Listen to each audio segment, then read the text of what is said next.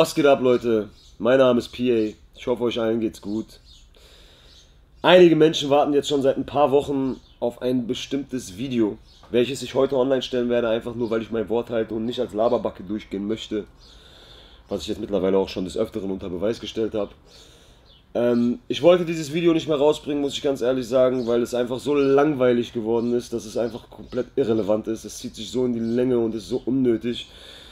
Aber ich habe mich für dieses Gespräch bereitgestellt, ich habe es geführt und bevor jetzt auch noch irgendein Typ im Internet wirklich das Gerücht verbreitet, ich hätte diesem Gespräch nicht standhalten können oder sonst irgendetwas, was kompletter Schwachsinn ist, was ihr auch gleich sehen werdet, ähm, bringe ich es trotzdem raus. Ich werde es nach zwei Tagen trotzdem offline nehmen, weil äh, ich der gequillten Scheiße, die dort geredet wird, einfach keine Plattform bieten möchte.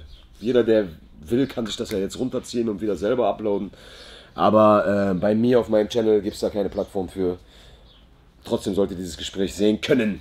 Oder wenigstens sehen, dass es stattfand. Und keiner irgendwie abgekackt hat. Ja. Wenn da irgendjemand abgekackt hat oder komplett behindert über die Bühne kam bei diesem Gespräch, werdet ihr das ja gleich unschwer erkennen. Aber für alle, die gar nicht wissen, worum es geht, einmal kurz erklärt. Am 12.01.2018 habe ich mit Kianush das Album Desperados 2 rausgebracht und im Zuge dieser Promophase sind mir ein paar Videos bei YouTube aufgefallen von einem gewissen Herrn Tillmann Knechtel, auch bekannt als Trau keinem Promi, der es sich zur Aufgabe gemacht hat, wilde Verschwörungstheorien aufzustellen, beziehungsweise die gesamte Weltverschwörung aufzudecken und jetzt noch zu seinem Schwerpunkt gemacht hat, deutsche Rapper damit reinzuziehen, beziehungsweise ganz klar und deutlich zu machen, dass deutsche Rapper zur Loge gehören oder sich von der Loge haben korrumpieren lassen oder sich der Loge anbiedern wollen, des, dem Establishment, wie er es so schön ausdrückt, den Illuminaten. Ja.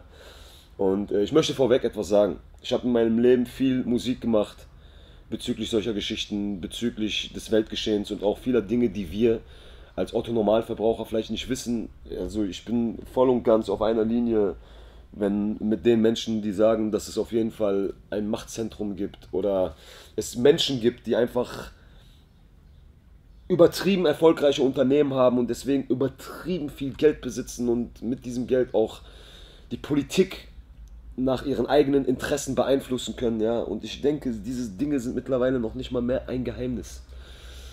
Und mit den Jahren wird man älter und ähm, betrachtet die ganze Geschichte auch nochmal ein bisschen eine, aus einer bisschen erwachseneren Sicht, ja.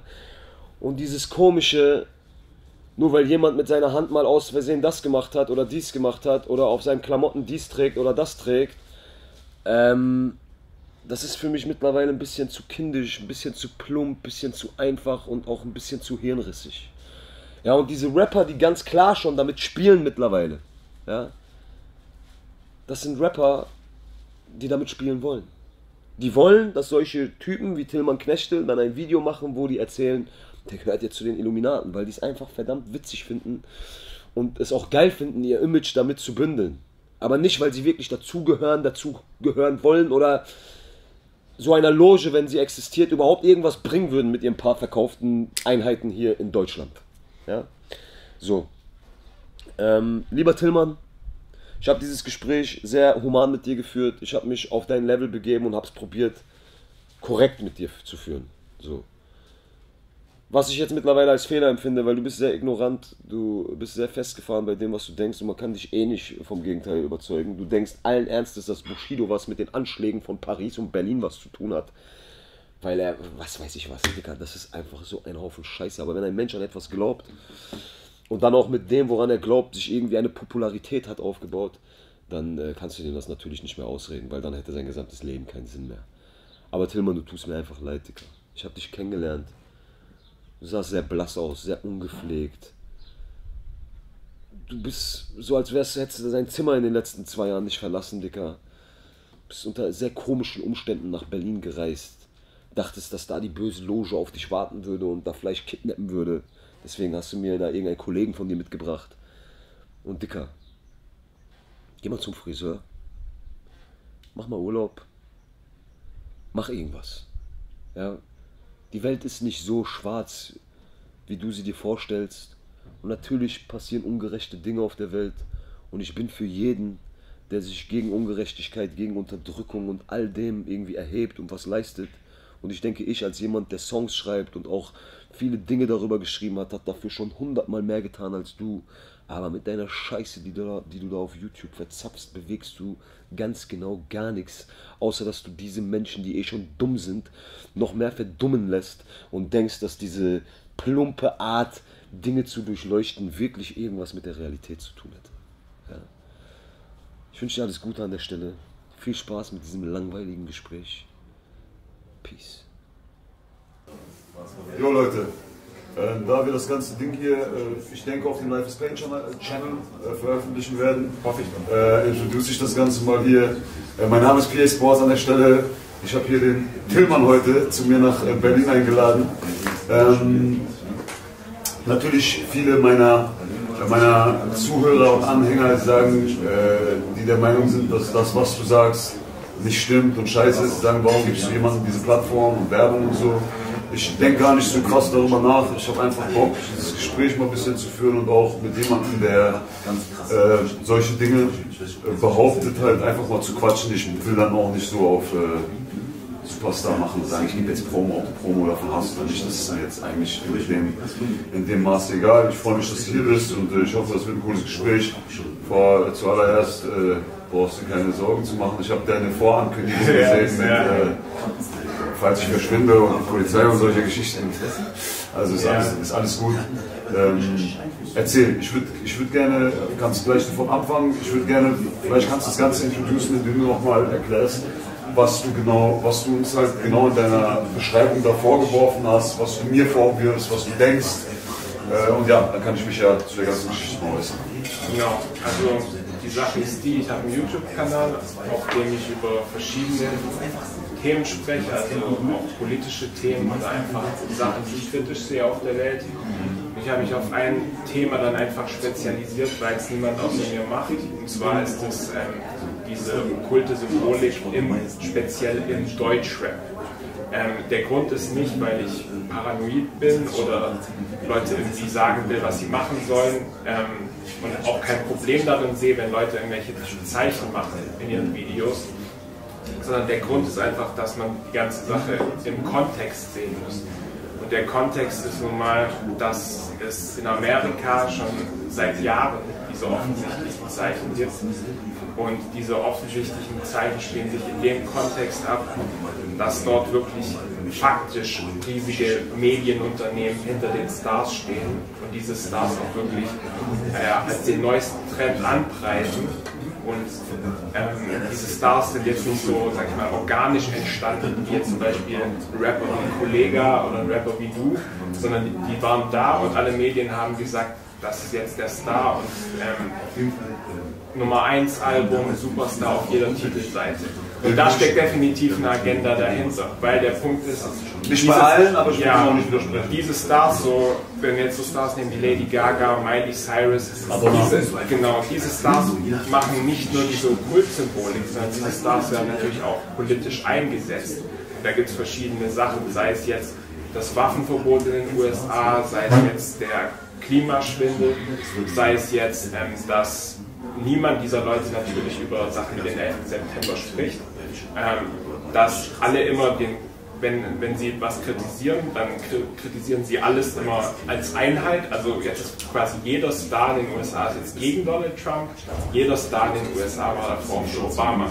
Das heißt, du merkst, diese Leute sind gleichgeschaltet und die werden, die stehen unter der Kontrolle von Medienunternehmen. Das heißt, diese Leute werden da platziert. Da ist eine größere Agenda dahinter. Aber darf ich ganz kurz einschreiten? Aber es gibt äh, auch nee, viele Stars, die, gegen, die öffentlich gegen Donald Trump äh, demonstrieren. Genau, jetzt, jetzt sind alle gegen Donald Trump, davor waren alle für Obama. Ach so, okay. Ja, okay, ja, also man, da gibt es ja auch viele Beispiele, so gerade die amerikanischen Late Night Hosts, so, da gibt es auch so ein cooles Meme im Internet, ich glaube 14 Leute, die haben alle zu jedem Thema genau dieselbe politische Einstellung.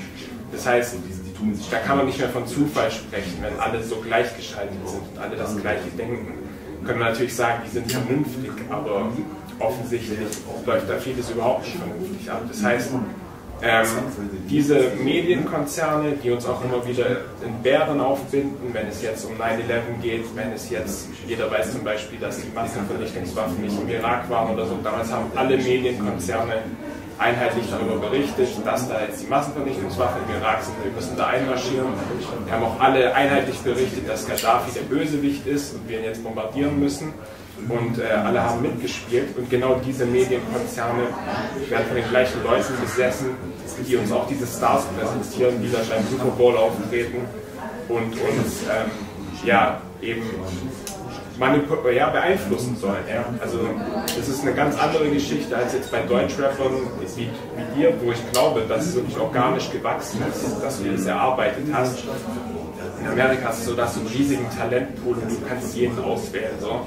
Also es gibt nicht 100 Lady Gagas, die du auswählen könntest und da werden natürlich eben die Leute... Darf ich eine Frage kurz stellen? Ja. Ähm, also ich, ich, kann dir folgen und ich, du sagst grundsätzlich auch Dinge, die ich nicht mal komplett, denen ich nicht mal komplett widersprechen würde. Aber äh, kann ich daraus auch ableiten, dass du äh, sagst, dass die Meinung, die von diesen Stars dann repräsentiert wird, die Meinung ist, die äh, dem entspricht, äh, was diese, weiß nicht, Elite, was diese Elite verkörpern möchte. Genau. Also dem kann ich dann ableiten, dass du der Meinung bist, dass Donald Trump nicht zu dieser Elite gehört. Doch auch, ja. Es ist ein größeres Spiel, aber natürlich ist es kein Zufall, dass die ganzen Stars, also das gesamte Establishment jetzt gegen ihn ist und er als Feindbild aufgebaut wird. Ich denke, nach meiner Theorie, so wie ich mich über ihn informiert habe, ist er auch Teil dieser Elite, aber er wird quasi als Feindbild aufgebaut, damit man ihn dann später als Sündenbock präsentieren kann. Das ist jetzt meine Theorie. Aber das geht jetzt ein bisschen zu weit. Ich wollte nur wissen, ja, ja. Frage ist für mich aufgekommen. Okay. Ja, aber es, es, war ja offensichtlich, dass ähm, ja, die, die gesamten Medien alle gegen ihn waren. Und man fragt sich schon, wie ist sowas möglich, so dass das alles so gleichgeschaltet ist. Und das jetzt genau, zum Beispiel gerade auch in der Rap-Industrie. Früher war er der beste Freund von allen Rappern. Also es gibt sogar so eine Liste, dass Donald Trump der meist erwähnte Name in der Rap-Musik war. Weil alle fanden ihn cool, weil aber er ein New Yorker Milliardär mit Cash, so das, was die Rapper auch wollten. Nach, nachdem er gewählt wurde, plötzlich in seinem Wahlkampf, alle plötzlich gegen ihn und er war plötzlich der, der weiße Rassist oder der, der Hillbilly-Typ, der, der konservativer ist und irgendwie die, die Ausländer rausschmeißt. Aber er hat ja auch vieles gesagt, was den impliziert, beziehungsweise wo du das. Also, er hat ja wirklich einen Wahlkampf geführt, wo er auch Sachen gesagt hat. Wenn ich jetzt zum Beispiel als äh, Afroamerikaner oder als afroamerikanischer Rapper irgendwie aus New York ihn gefeiert habe, weil er ein Milliardär ist aus New York und ich jetzt noch nicht viel von seinem politischen Statement oder von dem, was er politisch verkörpert wurde, wusste, kann ich ihn ja feiern und jetzt geht er in seinen politischen Wahlkampf und sagt auf einmal, dass er Leute, die mich scheiße findet. Dann ist es sagt, normal. Hat er nie gesagt. Aber äh, ist ja, er sagt ja ganz klar, wegen äh, ob Immigration, Flüchtlinge nicht reinkommen, seine Aussagen, die ihn halt so krass polarisieren haben lassen. Ja? ja. Dann ist ja ganz klar, dass ich, ähm, dass ich dann sage, er ist scheiße in dem Sinne. Oder meinst du, Meinung, ja, ja, oder meinst du dann, die Meinung ist aufgesetzt? Ja, auf jeden Fall. Ja, weil es passt erstens überhaupt nicht, weil er war ja früher der Demokrat und der beste Freund von Hillary Clinton. Das wissen manche nicht. Also er kommt ja aus dieser New Yorker Oberschicht. Ne? Ich meine, die Meinung der Rapper, meinst du, die ist aufgesetzt, wenn die jetzt sagen, ja, ist scheiße? Ja, die ist 100% aufgesetzt, weil ähm, erstens hat er nie was gegen Ausländer gesagt, also es gibt gar kein einziges Statement von ihm. Das heißt, das Ganze wurde komplett künstlich aufgebauscht, dass er gesagt hat, ähm, er will eine Mauer nach Mexiko bauen und keine Muslime mehr reinlassen, sondern das interessiert den Snoop Dogg. Oder, also er ist ja selbst nie eingewandert, also das macht ja für mich überhaupt keinen Sinn, so weißt du. Und da merkst du schon, dass da eine Agenda hintersteckt, vor allem wenn es keinen einzigen ihn unterstützt. Aber krass, dass wir jetzt auf jeden Fall das Thema verlassen haben. Ich komme mal wieder zum Hauptthema so zurück. So. Und äh, ja, diese Okkultsymbolik spielt sich eben in diesem Kontext ab. Das heißt, wenn diese Leute diese Zeichen zeigen, dann und in, in, den USA ist es jetzt noch viel offensichtlicher als hier. Also da gibt es wirklich ähm, klare Zeichen, so Jay-Z mit dem Alistair Crowley T-Shirt, ähm, das Baphomet-Zeichen, so ähm, Beyoncé trägt diesen Baphomet-Ring, ganz bewusste Hinweise auf Satanismus. Ähm, wirklich Dutzende andere Sachen. In fast in jedem Video findest du diese Symbolik. Das müsste doch auch schon aufgefallen sein, oder? Das ist, ja. Das, aber vor ein paar Jahren, als ich jünger war, auch viele solche Dokus geguckt und äh, klar, ich kenne das alles. Ja. ja. Und wenn man jetzt halt sich so die Deutschrap-Szene anguckt, was da in den letzten Jahren passiert ist, dann merkt man eben auch, dass sich diese Konzerne da eingeschaltet haben dass es viele neue Künstler gibt, die ähm, von Major Labels unter Vertrag genommen wurden. Und plötzlich waren diese Zeichen da auch drin bei den Leuten. Und die Sache ist halt, wenn ich dieses gleiche Muster erkenne und dann auch noch ähm, sehe, wie diese Leute teilweise auch doch in der Deutschrap-Szene relativ politisch gleichgeschaltet sind, beziehungsweise ungefähr das erfüllen, was, was sich so die Bundesregierung wünscht, ähm, bin ich schon überrascht so. Welcher Rapper erfüllt denn das, was sich die Bundesregierung ja, wünscht? Also ich finde, es gibt wirklich nichts politisch Korrekteres als diese ganze Rap-Szene. Weil die wünschen sich eigentlich alles, ähm, was Angela Merkel die letzten zwei Jahre gemacht hat. Also der ihre Motto ist äh, mehr Ausländer rein und Steuern erhöhen. Das ist eigentlich so das, was sich so die, die Rap-Szene so in den letzten Jahren gewünscht hat, weil offensichtlich... Wir wünschen uns, dass sich die Steuern erhöhen? Ja, genau. Weil offensichtlich, wenn wir hier mehr Flüchtlinge, Flüchtlinge reinbringen, die ähm, keine Steuern zahlen und ähm, offensichtlich auch nicht in den Arbeitsmarkt integriert werden äh, können, dann ist es auch nicht möglich, ähm, die Steuern zu senken, sondern man muss offensichtlich die Steuern erhöhen. Ich wünsche also, mir auf jeden Fall, dass die Steuern gesenkt werden, zwischendurch mal. Ja, ja, ja. Weil ich zahle verfickt viel Steuern das geht mir extrem auf den Sack. ja, korrekt, okay, das ist schon mal ein guter Punkt. So. Ja. Das, also, das Problem ist halt, ich glaube, die Rapper merken selber nicht, wie politisch korrekt sie eigentlich sind. Aber wenn man sich zum Beispiel auch anschaut, ich meine, wie viele Rapper mit Waffen posieren und mit dieser Gewalt und so spielen in ihren Texten. Aber gerade in den USA ist es noch mehr der Fall mit dieser Ganggewalt und so. Aber kein einziger Rapper ist für ein freieres Waffenrecht und stellt sich mal hin und sagt, okay, jeder Mensch sollte das Recht haben, eine Waffe zu tragen. Weil du kannst die Statistiken nachschauen, zum Beispiel in Ländern wie Texas, also in Bundesstaaten wie Texas, da ist ähm, die Rate an Gewaltverbrechen und auch Einbrüchen ist viel niedriger, weil sie eben so ein strenges Waffengesetz haben, weil jeder eine Waffe besitzt. Das heißt, es gibt die Regel more guns, less crime und die bewahrheitet sich auch immer wieder. Und diese Ganggewalt findet immer dort statt, wo also es mehr Waffen, mehr Kriminalität. An, nee, andersherum. Mehr Waffen, weniger, weniger Kriminalität. Das bewahrheitet sich. Genau, das bewahrheitet sich überall. Okay. Und bist du, für, diese, bist diese, du für freies Waffengesetz? Genau, ja. Bist du für freies Waffengesetz? Genau, jeder hat das Recht, sich selber zu verteidigen. Okay.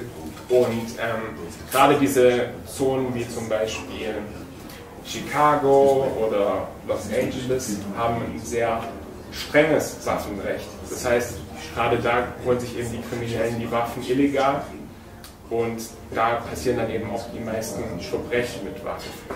Das heißt, ich stelle mir die Frage, ja, was, was machen diese, warum wünschen sich diese Rapper jetzt nicht einfach ähm, die klare Forderung, dass jeder eine Waffe tragen darf?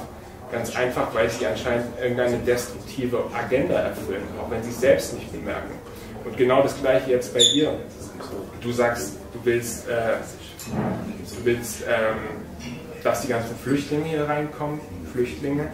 Ähm, du weißt aber, okay, ja, oder, oder du sagst so, ja, ähm, ähm, ich habe jetzt so, ich, also ich weiß nicht, ob du das sagst, aber es ist so der Grundtenor bei Deutschländern, also dass sie sagen, ich habe so die AfD, so, das ist so die schlimmste Partei der Welt, weil sie die Grenzen schließen will obwohl Angela Merkel ja vor zwei Jahren das Grundgesetz gebrochen hat, als sie einfach zwei Millionen unbeaufsichtigt hier reingelassen hat und ähm, eben einfach die Grenzen geöffnet hat. Bist du dafür, ähm, dass man die, also bist du, bist du dafür, dass man äh, die Flüchtlinge nicht hätte unkontrolliert hier lassen dürfen? Genau, ja. Aber es sind auch keine Flüchtlinge. Also, ja, es sind auch viele ja. Wirtschaftsflüchtlinge darunter, aber wie willst du. Äh, ja. Aber wie, das sind ja keine Flüchtlinge. Aber wie meinst du, dass das sind keine Flüchtlinge? Das sind halt Wirtschaftsmigranten. Viele, ja. aber nicht alle. Ja, aber deswegen hätte man sie ja kontrollieren müssen. Aber ja. wie, kannst du da selektieren? Ähm, ja, also zumindest ist es ja vollkommen egal, weil sie hat ja das Grundgesetz damit verbrochen. Und wenn sich Politiker nicht mehr an die, an die Gesetze halten, die sie selbst gemacht haben, dann muss man sich schon fragen, was für einem Land man lebt. Weil offensichtlich, wenn das Gesetz für diese Leute nicht gilt, dann lebt man nicht in einer Art Diktatur. Also wenn die Politiker sich nicht an die Rechte halten, die sie selbst gemacht haben. Zumindest, wenn die Deutschrapper eben nicht bestimmte ähm, ja, wie soll ich sagen, ich sehe von Deutschrap einfach überhaupt kein politisches Statement in Richtung mehr Freiheit und in Richtung gegen diese Politiker. Alles gut vom Bild? Und ihr, ihr, ihr, ihr, erfüllt einfach zu sehr die etablierte Politik, das ist das Problem, obwohl ihr es vielleicht gar nicht merkt. Aber ich sehe, ich sehe von euch keinerlei wirklich kritisches Statement, sei es jetzt zu der Flüchtlingsfrage, sei es jetzt zu den ganzen False Flag Attacken, die stattfinden, sei es jetzt zum Geldsystem, sei es jetzt zur Ausbeutung durch die Steuern. Ähm, und das ist ja eben diese Agenda, die diese Leute wollen. Die wollen ja eine Weltregierung haben, in der jeder Bereich des Lebens der Menschen kontrolliert wird. Und auch wenn ihr jetzt vielleicht denkt, ihr werdet jetzt nicht politisch korrekt, so, ähm, sehe ich halt wieder so das gleiche Muster wie in Amerika, dass eben ja, bestimmte Rapper, sag ich mal, extra dort platziert werden, um eben etwas zu erfüllen. Ja. Plus natürlich diese ganze Kultsymbolik, die oben drauf kommt und deswegen wollte ich da jetzt mal drauf eingehen und zwar. Darf ich ganz kurz, bevor du darauf ja. eingehst, ja. ich bin jetzt schon 14 Minuten am Stück. Okay. Ähm, ich will als allererstes vorweg sagen, dass ich dich äh, als Menschen respektieren möchte. Also, dass ich wirklich mit dir ein vernünftiges Gespräch führe und mir auch deswegen alle deine Argumente und alles, was du sagst, wirklich anhöre. Ich könnte jetzt auch so voll von oberflächlich, oberflächlich von oben herab so einfach über das, was du sagst, lachen oder sagen, was eine Psychose oder sonst irgendwas. Aber ich möchte das, äh, ich möchte deine Argumente für voll nehmen und darüber reden. Du hast jetzt bis jetzt in eine Richtung gegangen, aber gleichzeitig noch in 15 verschiedene was ich grundsätzlich zu dem, was du ähm, gerade alles gesagt hast, sagen möchte, ist, guck mal, ich ähm, bin 27 Jahre alt, ich werde 28, wie alt bist du? 30. 30? Ja. Sogar schon, also 87er Jahre bist du mal. Bist sogar zwei, drei Jahre älter als ich. Ich, ähm, ich habe auch, ich weiß nicht, zum Beispiel diese 9-11-Dokus, die habe ich das erste Mal gesehen, da war ich 14, 15 kann ich mich noch ganz cool, gut daran erinnern. Kurz darauf habe ich Arrivals gesehen, ich habe Zeitgeist gesehen und ich habe diese ganzen Sachen gesehen. Und äh, ich bin mir zu 1 Million Prozent sicher, dass es definitiv ähm, alles okay? Ja? Ich hatte Bescheid gesagt, ne? Alles gut. Okay, ähm, ich, also wir können über alles diskutieren. Ja, ich bin, ich ich sage, es gibt Lobbyisten, es gibt Menschen, die äh, ihre, ihre, ihre, finanzielle Macht ja, auf jeden Fall dazu nutzen, um politisch Einfluss zu nehmen oder politischen, äh, äh, politischen Einfluss zu bekommen. Ja. Ich bin mir, ich, bin ich da voll auf deiner Welle, dass es Politiker gibt, die äh, nach Interessen von Menschen handeln. Und äh, wir können auch gerne darüber sprechen, dass die, die amerikanische, Amerika ist halt die Weltmacht. Ne? Das, das Big Showbiz. Ja. Ich bin ein bisschen weit weg davon. Ich kann dir nicht sagen zu 100% ja, aber ich könnte auch niemand sagen zu 100% nein. Wir können sehr gerne darüber sprechen, dass äh, auch in Amerika, dass es dort Künstler gibt, die, äh, wo ich, wenn du die Texte übersetzt, ganz komische Sachen bei rauskommen. Ja. Und äh, dass manche Frauen wie Maradona, Madonna und äh, Lady Gaga oder so, ja, dass die auf jeden Fall vielleicht auch von einer größeren Industrie dazu genutzt werden, um eine Sexualisierung im frühen Alter zu pushen und Frauen in eine bestimmte Richtung zu lenken und so. Das ist alles cool. Aber ich glaube, im Thema Deutschrap ähm, interpretierst du einfach ein Ticken zu viel rein. In dem Sinne, dass, äh, wenn du zum Beispiel über Waffen oder so redest, lass mich das einmal zu Ende ausführen. Ähm, wir, wir Rapper, und ich kenne wirklich, ich kann glaube ich an einer Hand abzählen, wie viele Deutschrapper von allen Deutschrappern, die es in Deutschland gibt, ich bis jetzt noch nicht persönlich kennengelernt habe. Ja? Und das sind wirklich zum Teil viele Leute, die äh, einfach von der Straße kommen, also nicht von der Straße kommen, dass sie auf der Straße gelebt haben, aber aus sozial schwächeren Gegenden kommen in Deutschland, äh, ihre Schule früher abgebrochen haben, einfach Street-Jungs sind. Ja? Und äh, vielleicht gar nicht so extrem darüber nachdenken, welche Message die nach außen tragen, sondern vielmehr äh, einfach Geld verdienen wollen mit Mucke und einfach erfolgreich sein wollen, berühmt sein wollen, geiles Auto fahren wollen, äh, Platten verkaufen wollen, ihren Traum erfüllen wollen, in dem Sinne, dass sie auf einer großen Bühne von 2.000, 3.000 Menschen stehen wollen. Und äh, also deswegen habe ich das gemacht. Ich habe angefangen Musik zu machen, weil ich meinen Traum erfüllen wollte, weil ich gerne auf der großen Bühne stehen wollte. Und jeder, der meint, er hätte aus irgendeinem anderen Grund angefangen, Musik zu machen, der war nur scheiße. Ja? Also ich wollte auf die große Bühne, ich wollte Konzerte spielen, wo 2.000, 3.000 Leute stehen, die mich anfeuern, die mich feiern.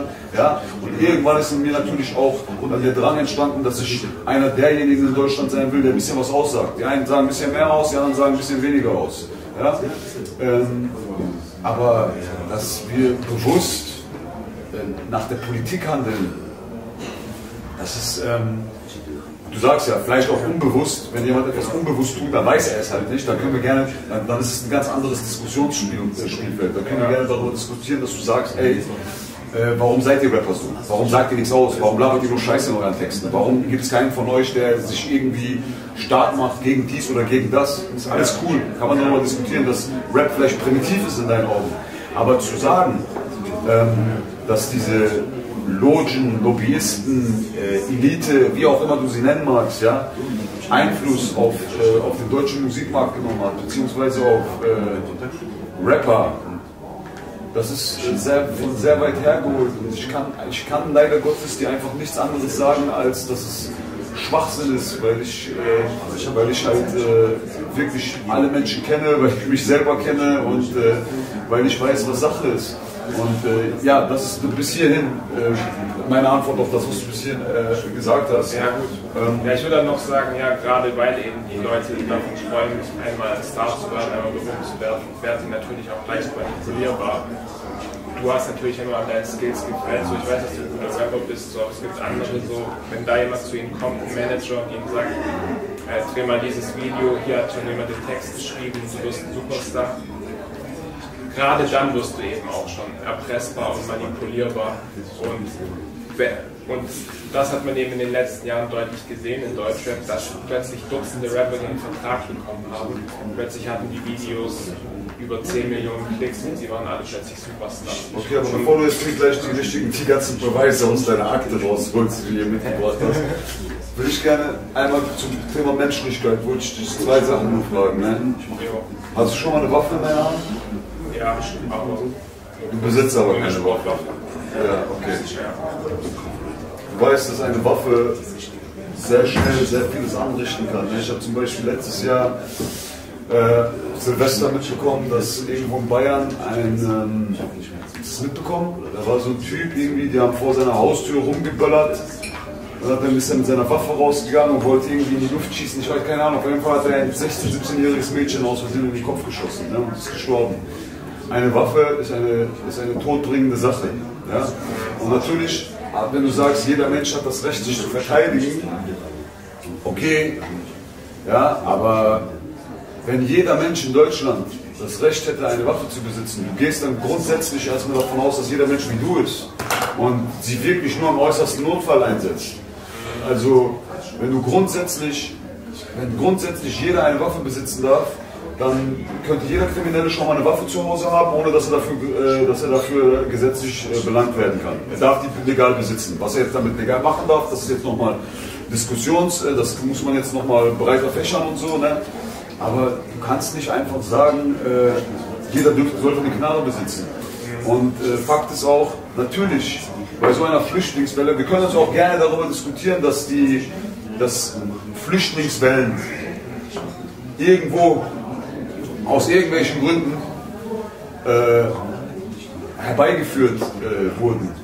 Hätte ich dir gerne Mexikanisch mitgebracht, damit ihr euch ein bisschen darüber unterhalten könnt. Aber Fakt ist, dass wenige, wenige Kilometer von hier, und ich sage extra wenige Kilometer, weil ich weiß, dass Thailand 10.000, 11.000 Kilometer entfernt ist und Syrien vielleicht 2.000, 3.000 Kilometer entfernt ist. Ja? Wenige Kilometer von hier entfernt sind Menschen am Sterben. In Massen. Und das ist nicht nur irgendwas, was dir gezeigt wird, das passiert wirklich. Ja?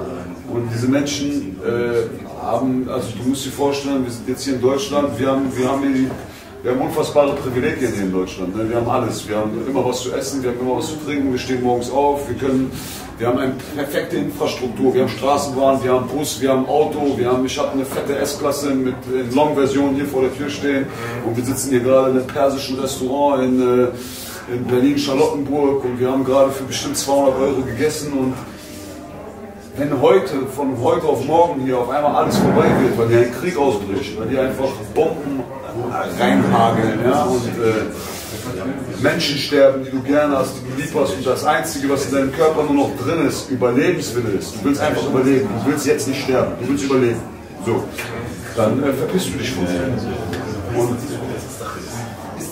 und ich sag dir ganz ehrlich, wenn äh, also, lass mich das richtig ausdrücken. Wenn wir zwei Millionen Menschen aufnehmen, ja, und davon 1,9 Millionen Menschen retten, aber dafür in Kauf nehmen müssen, dass 100.000 Hurensöhne hierher kommen, dann rette ich lieber 1,9 Millionen Menschen und nehme 100.000 Hurensöhne in Kauf, als aus Angst vor diesen 100.000 Hurensöhnen 1,9 Millionen Menschen verrecken zu lassen. Vor allem, vor allem, wenn ich durch meine Politik und durch meinen Waffenexport dafür gesorgt habe, dass diese Dinge überhaupt passieren können. Dann muss ich mit diesen 100.000 Hurensöhnen leben. Und dann nicht Angst haben, um meine Tür zu machen und sagen, hey, jetzt kommt hier keiner mehr rein, die sollen alle verrecken da, wo die sind. Das ist meine... Aber wie wäre es, wenn du zum Beispiel jetzt den Politikern keine Steuern mehr zahlst?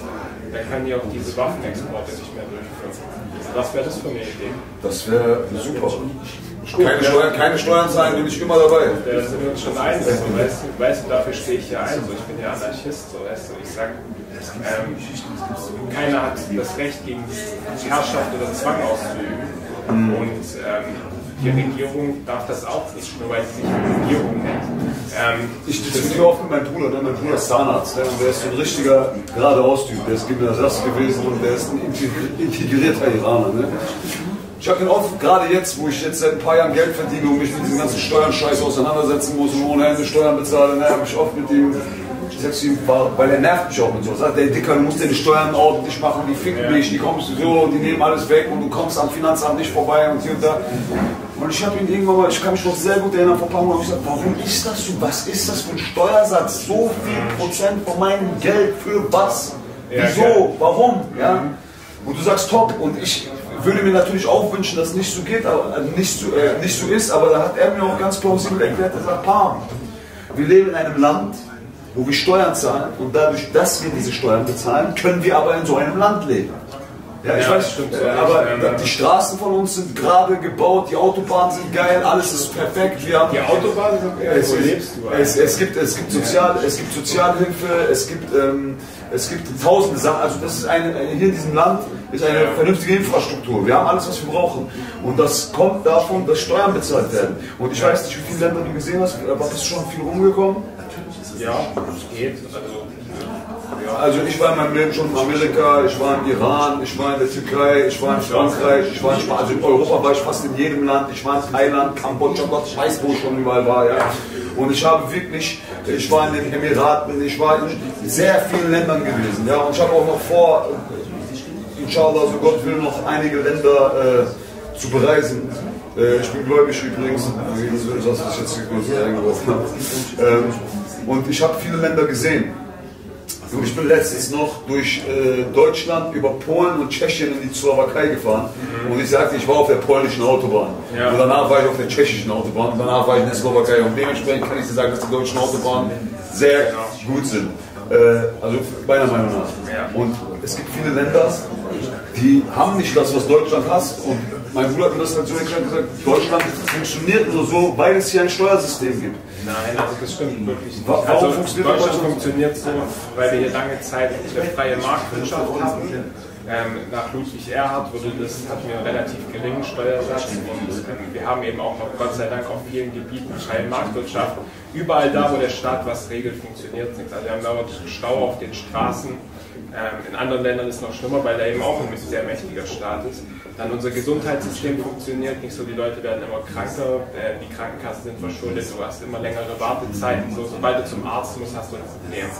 Der Lebensmittelmarkt ist allerdings relativ frei. Da kannst du einfach in den, in den ja, Laden gehen und dir Lebensmittel kaufen. Sobald du krank bist, hast du ein Problem. Warum? Weil sich der Staat macht. Wo du die Länder, wo du reingereist bist, so Tschechien und so, das sind kommunistische Staaten. Da hat sich für Jahrzehnte hat sich der Staat darum alles gekümmert. Und deswegen ging auch alles bergab. Der Punkt ist, dass zentralistische Planung von oben nie funktioniert. Das heißt, hier in Deutschland gibst du schon einen großen Teil an die Politiker ab und die verteilen das Geld dann neu um.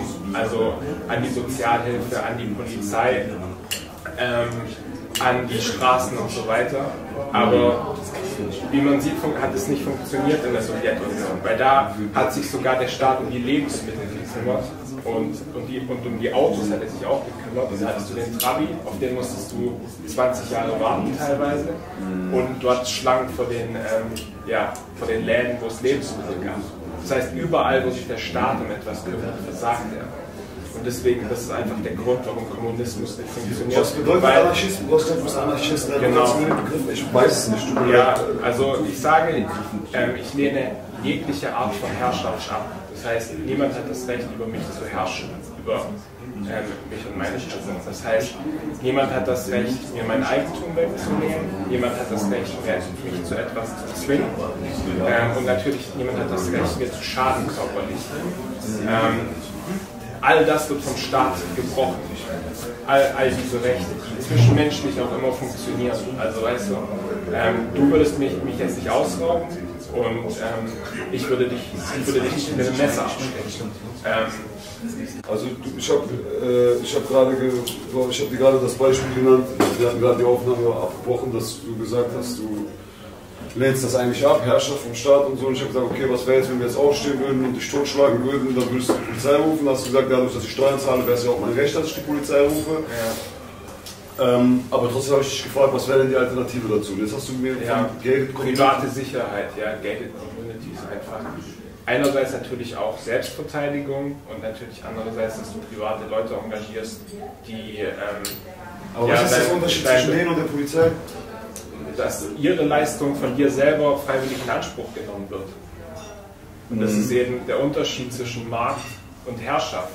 Also Markt ist, ich gehe freiwillig zu dir und will etwas mit dir tauschen, entweder eine Dienstleistung oder ein Produkt. Und Zwang ist, jemand kommt zu dir und sagt, du hast diese Leistung jetzt zu akzeptieren, die ich dir bringe. Verstehst du? Jo, Das ist doch logisch, oder? Genau. Und nicht ganz, aber ich lasse es mal so stehen. wieso nicht? Ja, Weil äh, ich, äh, ich, ich finde es halt ich find's echt geisteskrank. Aber okay, okay. lass, uns- lass uns Aber gleichzeitig bist du trotzdem gegensteuern. Das heißt, ich bin gegen Steuern. Ich bin ge- gegen alles, was mir mein Geld aus der Tasche zieht, weil ich gerne so viel wie möglich davon behalten möchte. Aber ich verstehe, warum ich sie bezahlen Aber muss. trotzdem, ja, Und ich bist verstehe, doch für die Steuern. ich, ich verstehe, warum ich sie bezahlen muss. Also bist du doch politisch korrekt irgendwie. Ja, wenn du mich politisch korrekt nennen willst, Okay, bin ich halt politisch korrekt. Kein Problem. Okay, ja, das ist, das ist cool, ja. Ja. Also zumindest haben diese Leute in diesen Logen das, was ich gerade erzähle, relativ gut verstanden. Deswegen ist es so interessant, Okay. weil sie eben wissen, dass jeder Mensch naturgegebene Rechte hat und nicht einfach bestohlen werden darf.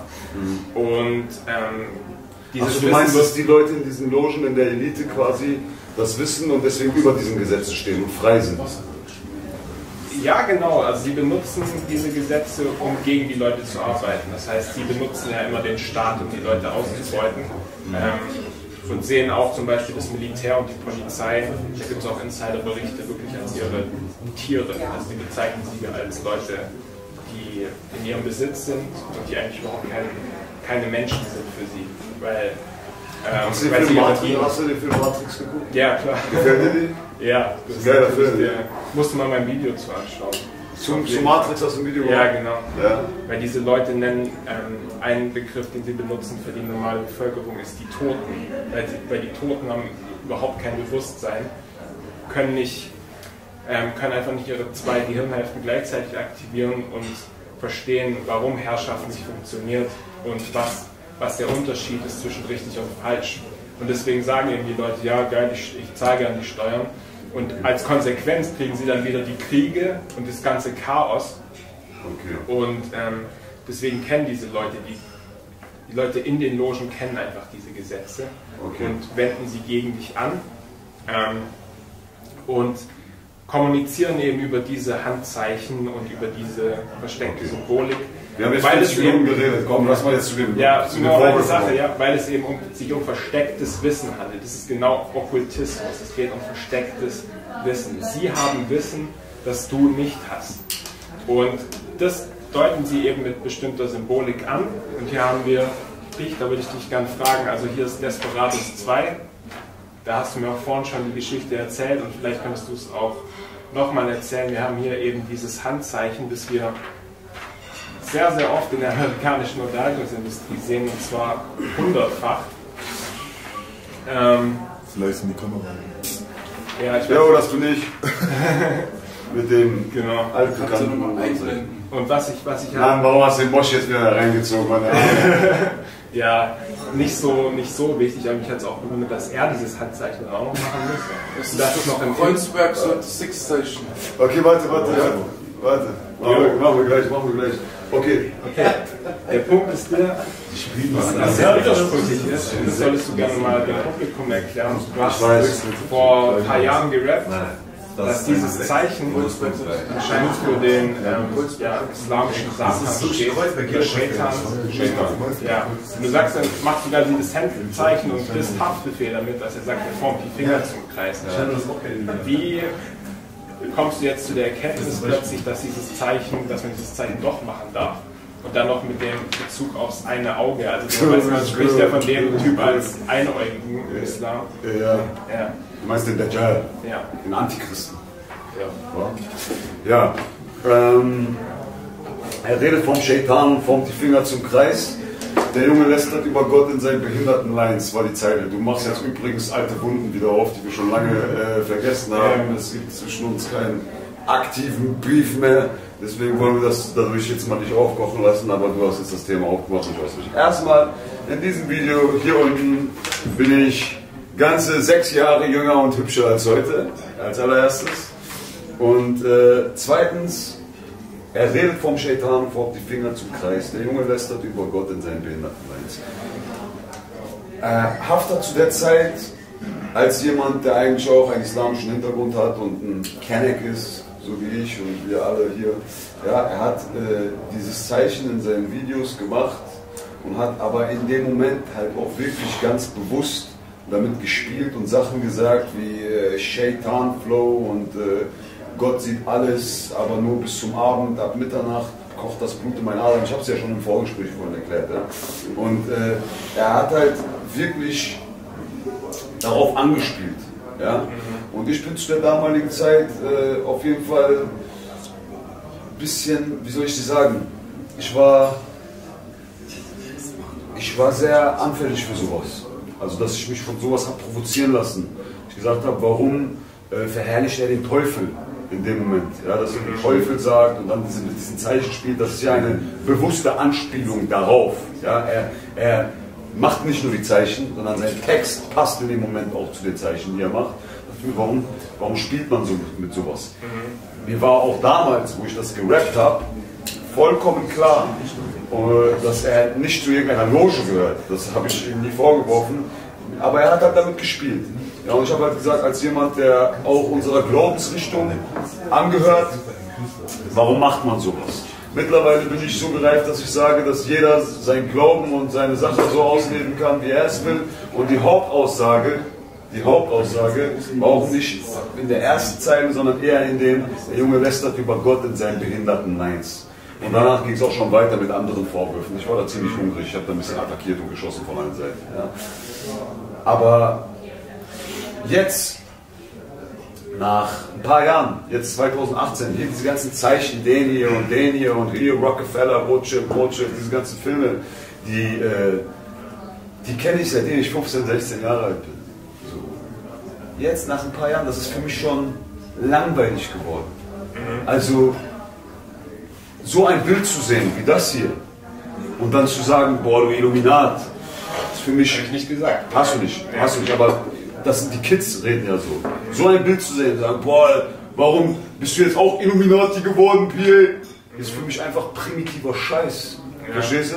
Dass ich mir ein äh, Pullover irgendwo kaufe von Philipp Plein, wie in dem Video Murder, das hast du auch bestimmt irgendwo hier rausgeholt. Ja, du- genau, kommt noch. Hast du bestimmt auch noch irgendwo. Ja. Dass ich mir einen Pullover kaufe und den ich geil finde, weil der hat diesen Jeansstoff als Pulli. Der Pulli hat ungefähr auch, übrigens auch 1200 Euro gekostet. Ich habe mir, 1000 ich hab mir für 1200 Euro ein Problem gekauft an der Stelle. Also, dass ich, äh, dass der, dass, ich mir, dass ich mir einen Pulli, der mir gefällt, nicht kaufen soll, nur weil dann dieses Dreieck vorne ist. Das ist dann für mich schon so behindert geworden. Das Thema ist für mich jetzt mittlerweile ein bisschen played out. Ich sage nicht, dass es sowas nirgendwo gibt auf der Welt. Und dass all diese Stars zufällig diese komischen äh, Filme machen, ist vielleicht äh, schon ein bisschen komisch, vor allem, dass der Papst das macht. Aber ähm, es ist halt, es ist halt, äh, es, äh, war echt der Papst drauf, der macht das sogar mit zwei Bildern. es ist aber, äh, ist eine Eule. Hallo. Äh, es ist aber nicht, ähm, es ist von mir keineswegs, äh, ich will auf nichts damit hindeuten. Und du hast auch irgendwas aus der 2 gemacht, zum Beispiel die 2 steht für Desperado ja. 2. Ja. Und ich habe es dir ja gerade schon erklärt, ich war bei diesem Fotoshooting gewesen, ne, sage ich dir ganz ehrlich. Und bei diesem Fotoshooting, äh, wir haben Fotos gemacht, ne? Und irgendwann mal hast du dann auch innerhalb von fünf Minuten ungefähr jede Pose durch, die du bei dem Foto machen kannst. Du guckst einmal nach links, du guckst einmal nach rechts, du guckst einmal nach vorne, du guckst einmal böse, du machst einmal deinen Arm um deinen Kollegen und irgendwann hat der Fotograf gemacht, ey, ihr müsst euch schon ein bisschen bewegen und ein bisschen äh, Bewegung in die Bilder reinkommen, damit die Bilder Ausdruck kriegen. So. Und dann haben wir irgendwann mal dieses coole Bild geschossen, was davon lebt, dass Keanus Auge genau durch diesen Kreis durchguckt. So, und äh, natürlich, als ich dieses Bild geschossen habe, habe ich mir angeguckt, habe ich gesagt, ja, wenn wir das jetzt als Cover nehmen und wir fanden es alle geil, war sofort klar, so die Leute werden direkt mit, dem, mit der Illuminatenkeule kommen. Ja, Ja, okay. Ja. Du hast es schon gemerkt, also ja. ja klar, natürlich. Aber ich denke mir dann auch in dem Sinne irgendwie, ey, von so weit hergeholt, jetzt jeden irgendwie damit zu konfrontieren, der mal einmal dieses Zeichen macht oder einmal irgendwas trägt, wo ein Dreieck drauf zu sehen ist, ja. ist hirnrissig, ist nichts, womit ich mich äh, noch auseinandersetzen muss. Beziehungsweise vor allem, wenn die Message, wenn die Message, die ich verkörpere, mal gar nichts damit zu tun hat. Weißt du, wenn die Message dann auch noch kompatibel damit ist, dann kann man mir wenigstens, da kann man mir vorwerfen, dass ich bewusst damit spiele. Aber äh, das ist einfach, das, das ist an dieser Stelle nur ein Bild.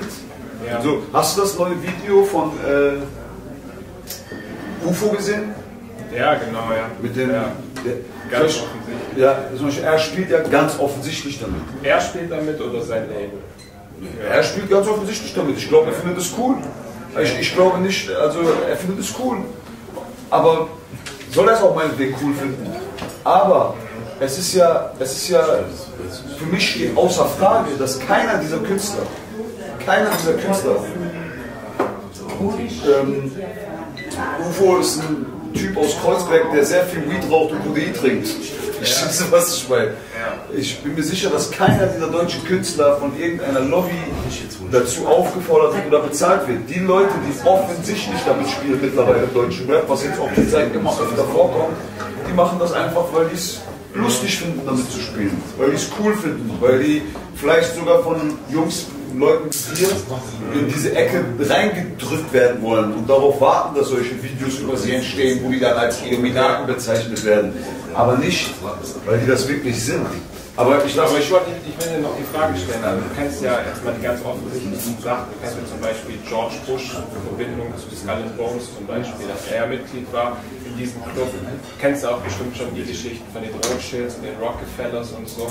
So erstmal, was hältst du von diesen Leuten? Findest du die gut oder unterstützt du die? Oder weil ja ihre Verbindung zu den Geheimgesellschaften sehr klar. Also auch die Rothschilds, sehr, sehr viele waren Freimaurer. So, es ist ganz klar, dass in diese Organisation mit eingebunden sind. Wenn wir uns jetzt die letzten 200 Jahre angucken, was diese Leute alles für Verbrechen begangen haben. Nehmen wir nur das ganz offensichtlichste, George Bush, Bombardierung vom Irak. Irak. Ähm, riesiges Verbrechen. Und du benutzt jetzt quasi diese Zeichen, die indirekt darauf hindeuten. Das heißt auch diese Kreise dieser Leute. Jetzt stellen wir uns mal vor, du hättest da, ähm, die Nazis haben auch riesige Verbrechen begangen. Du hättest jetzt da ein Hakenkreuz drauf.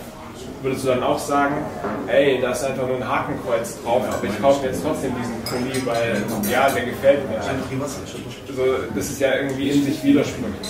Ich, ich kaufe, ich sag, das bedeutet alles überhaupt nichts, aber dann kaufe ich mir trotzdem was, was in Beziehung steht. Ja, aber ein Hakenkreuz ist wirklich von jedem Menschen, jeder Mensch da draußen weiß, was ein Hakenkreuz bedeutet und das ist etwas, nur ein Nerd, beziehungsweise jemand, der sich mit diesen Themen auseinandersetzt, sieht in diesen Zeichen jetzt eine Bedrohung, aber die, halt, der hält die Hälfte der, also die meisten Selber Menschen, was ist Bedrohung bei einem Hakenkreuz? Ist ja auch keine. ja, keine Bedrohung oder sehen das als was Schlimmes an, ja, aber die meisten Menschen, die dieses, diesen Pullover von mir sehen, fühlen sich dadurch nicht gestört. Was ich, was ich dir halt sagen will, ist, du hast mich gefragt, was ich von diesen Menschen halte. Guck mal, es gibt, wir können uns über tausend Verschwörungen äh, unterhalten. Wir können anfangen von Geheimgesellschaft und wir können bei der flachen Erde aufhören. Äh, an die glaubst du hoffentlich nicht, oder? Okay, gut. gut. Wir können uns über Chemtrails und Hab, glaubst du an Chemtrails? Nee, lass mal jetzt länger nicht Ja, ja, wir- ja, wir können uns über alles unterhalten. Über alles. Ja. Alles. Über alles. Aber äh, ich glaube einfach nicht mehr alles. Ich, ich hab, früher habe ich alles geglaubt. Ich wollte auch daran glauben. Und ich kenne viele Menschen, die wollen sowas glauben, weil die ihre Hauptbeschäftigung darin äh, finden, an solche Dinge zu glauben und alles in Frage zu stellen und die Welt als den schlimmsten Ort äh, überhaupt äh, irgendwie zu betiteln. Ich sage dir, woran ich glaube. Und ich sage dir auch, was ich scheiße finde. Äh, Es gibt, wie, habe ich aber schon am Anfang gesagt, es gibt Menschen, äh, die Unternehmen, denen Unternehmen gehören, die sehr viel Geld haben und die durch ihre, die unfassbar viel Geld haben. Ich rede jetzt nicht von hier zwei Millionen oder so, unfassbar viel Geld haben und die, die durch dieses unfassbar viele Geld auf jeden Fall auch eine Macht bei sich bündeln. Ja, und durch dieses unfassbar viele Geld auch äh, politischen Einfluss haben oder die das Bankensystem äh, erschaffen haben oder überhaupt das Geldsystem erschaffen Ja. haben, die sozusagen ein Monopol auf Geld haben. Ja, ja. Gibt es, gibt es. Und dass diese Menschen auf der Welt sehr viel zu sagen haben. Und dass diese Menschen äh, wahrscheinlich auch sehr viele Kriege zu verantworten haben. Und dass diese Menschen äh, von Kriegen profitieren, weil sie an beiden, auf beiden Seiten Waffen verkaufen und am Ende des Tages äh, als die Gewinner herausgehen aus dem Krieg, weil immer der Waffenverkäufer der Gewinner eines Krieges ist. Ja? Das, äh, das stimmt alles. Das ist alles gut, aber ich glaube nicht daran, dass es so einen Tisch gibt, der so lang ist wie dieser Tisch da vorne. Und dann sitzen da 20 Leute, die sich jedes Jahr, jedes Jahr einmal im Jahr treffen und dann die Welt regieren. Es gibt es aber faktisch. Also, ja. Es kam sogar raus in Italien zum Beispiel mit der P2-Loge, dass das ganze Land gesteuert wurde von Ja, aber- einer einzigen Loge.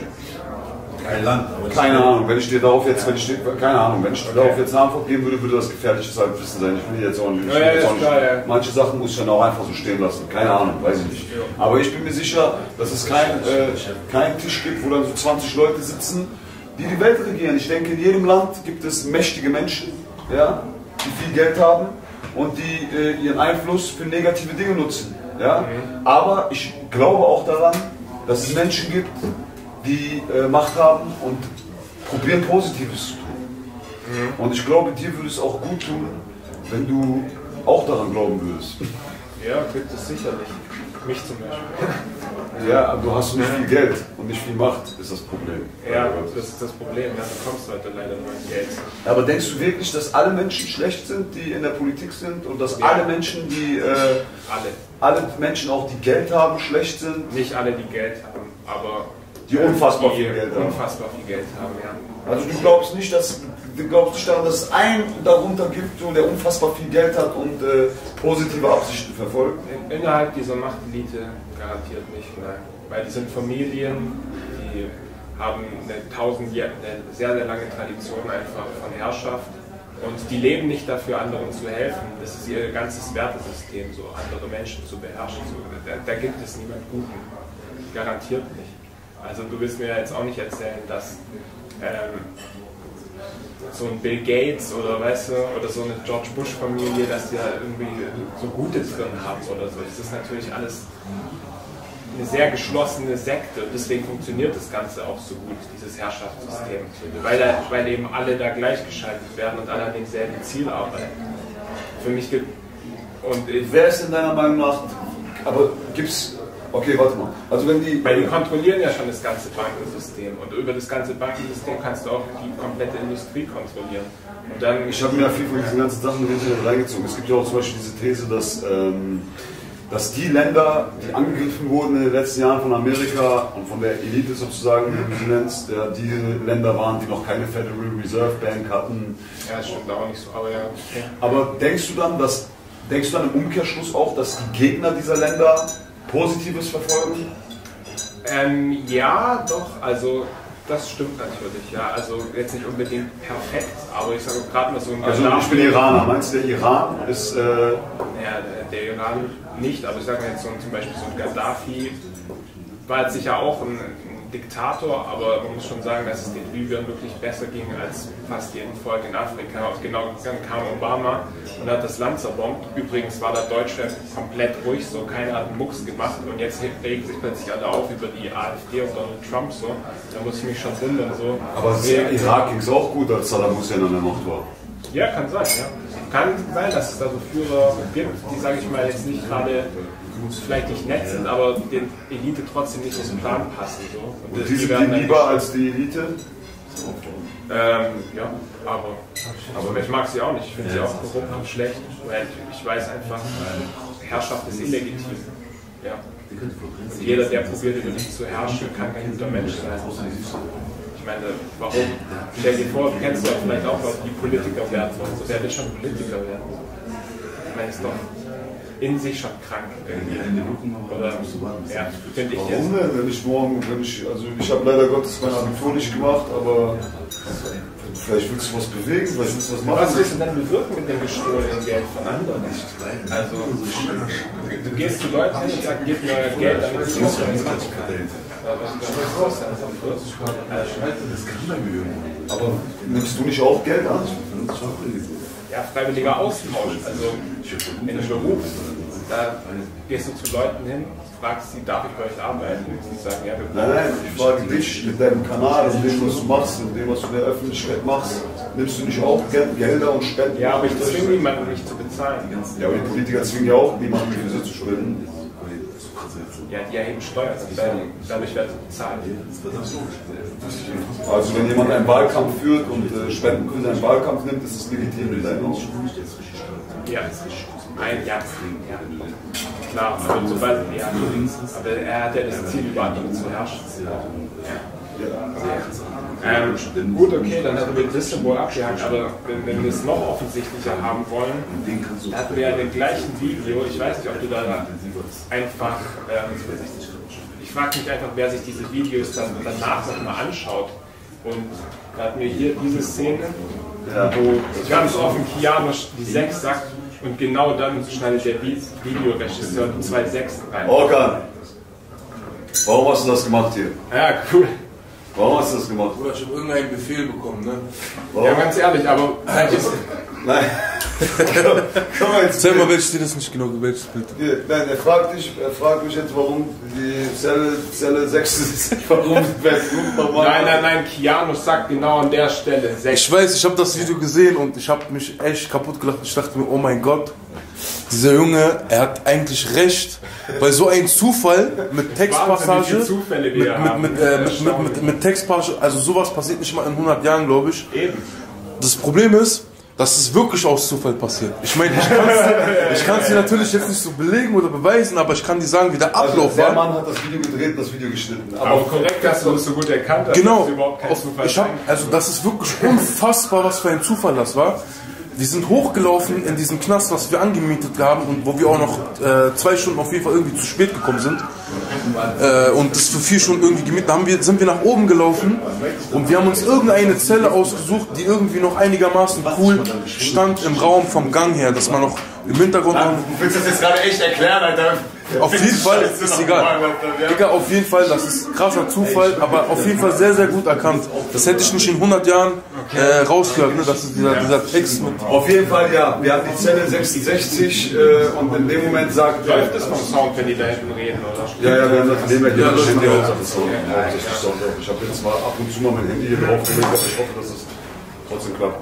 Ähm, ja, das ist die Zelle 66 und in dem, äh, in dem Moment sagt, glaube ich, sechs Salben, sagt er, glaube ich, sechs Salben, irgendwas stimmt, ich baller mit sechs Salben in deine Drecksgang und keine Ahnung was. Auf jeden Fall, dann bist du zu diesem 666-Schluss gekommen. Ne? Und 666 ist der Code für was?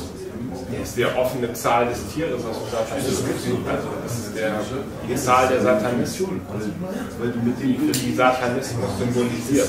666. Okay. Okay. Ich sag, das war ein Zufall, sorry. War ein Zufall. Aber äh, richtig, richtig, Das ist schon ein richtig komischer Zufall, oder? Ja, das, guck mal, Dicker, willst du, willst du eigentlich, also das ist ja jetzt die Frage, darüber müssen wir jetzt Guck reden. mal, guck mal, das ist doch so. Also das, das neue Video von Bowser zum Beispiel. Kommt der jetzt plötzlich auch mit Lucifer 666? Aber die wir sagen es ja ganz klar. Du sagst, dass wir die Zelle 66 genommen haben und dass dann äh, Kianisch rauskommt und 6 sagt und deswegen das, 6, dass das 3 Sechsen dann zusammenpassen. Die Sache ist, die äh, Leute, bist ja ruhiger bitte. Die Sache ist, ähm, sagst du, dass diese Elite Satanisten sind? ja. Also die glauben an den Satan? ähm, dunkle Okkultisten. Das heißt, sie benutzen verstecktes Wissen, um andere Menschen zu steuern und zu beherrschen. Und Was für ein verstecktes Wissen? Satanismus ist eine Unterform davon. Jetzt wird's das nennt sich die, also da gibt es ja eine offizielle Organisation dazu, die heißt Church of Satan. Und äh, die verfolgt im Wesentlichen Denkst du, es gibt den Satan? ähm, ja, also diese Leute glauben ja gar nicht an die Religion. Und sie wissen auch, dass die Religion nur Sachen sind, die man den Leuten vorsetzt. Sie wissen, sie verstehen unter Satan einfach eine ähm, ja, bremsende Kraft im Universum. Das heißt, es gibt die gute Kraft, die schafft, also Leute, die arbeiten, die ähm, etwas aufbauen, die etwas kreieren. Und es gibt die zerstörerische Kraft. Und das ähm, ist aus dem Hebräischen, der Gegenspieler heißt Hashatan. Und an den glauben sie. Das heißt, es ist mehr eine Idee, an die sie glauben. Sie glauben nicht an dieses Hokuspokus aus den Religionen. Und sie glauben.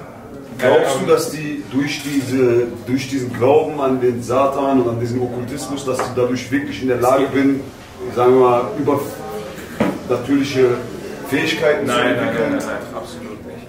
Das glaube ich nicht. Aber es geht, ähm, kannst du dir auch einen Vortrag angucken von Mark Persio, der ist da ausgestiegen.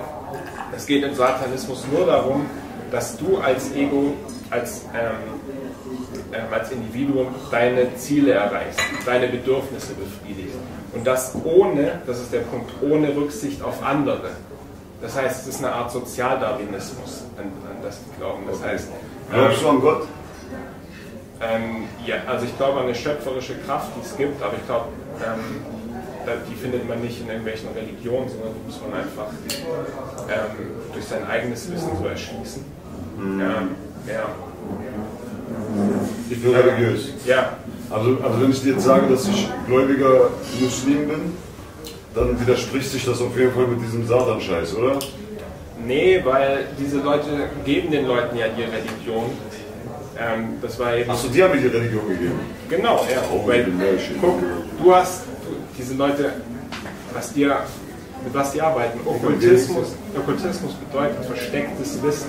Das heißt, diese Leute arbeiten nur mit Wissen, während sie anderen Leuten Glauben geben an bestimmte Sachen. Und, da, und Religion ist nicht nur, ähm, ich glaube an den Koran und ich glaube an die Bibel und ich glaube an die Tora. Religion ist auch, ich glaube, dass jemand das Recht hat, mir 70% meines Einkommens wegzunehmen. Ich kann dir aber meinen Glauben, ich kann dir meine Religion, den Islam ganz rational erklären.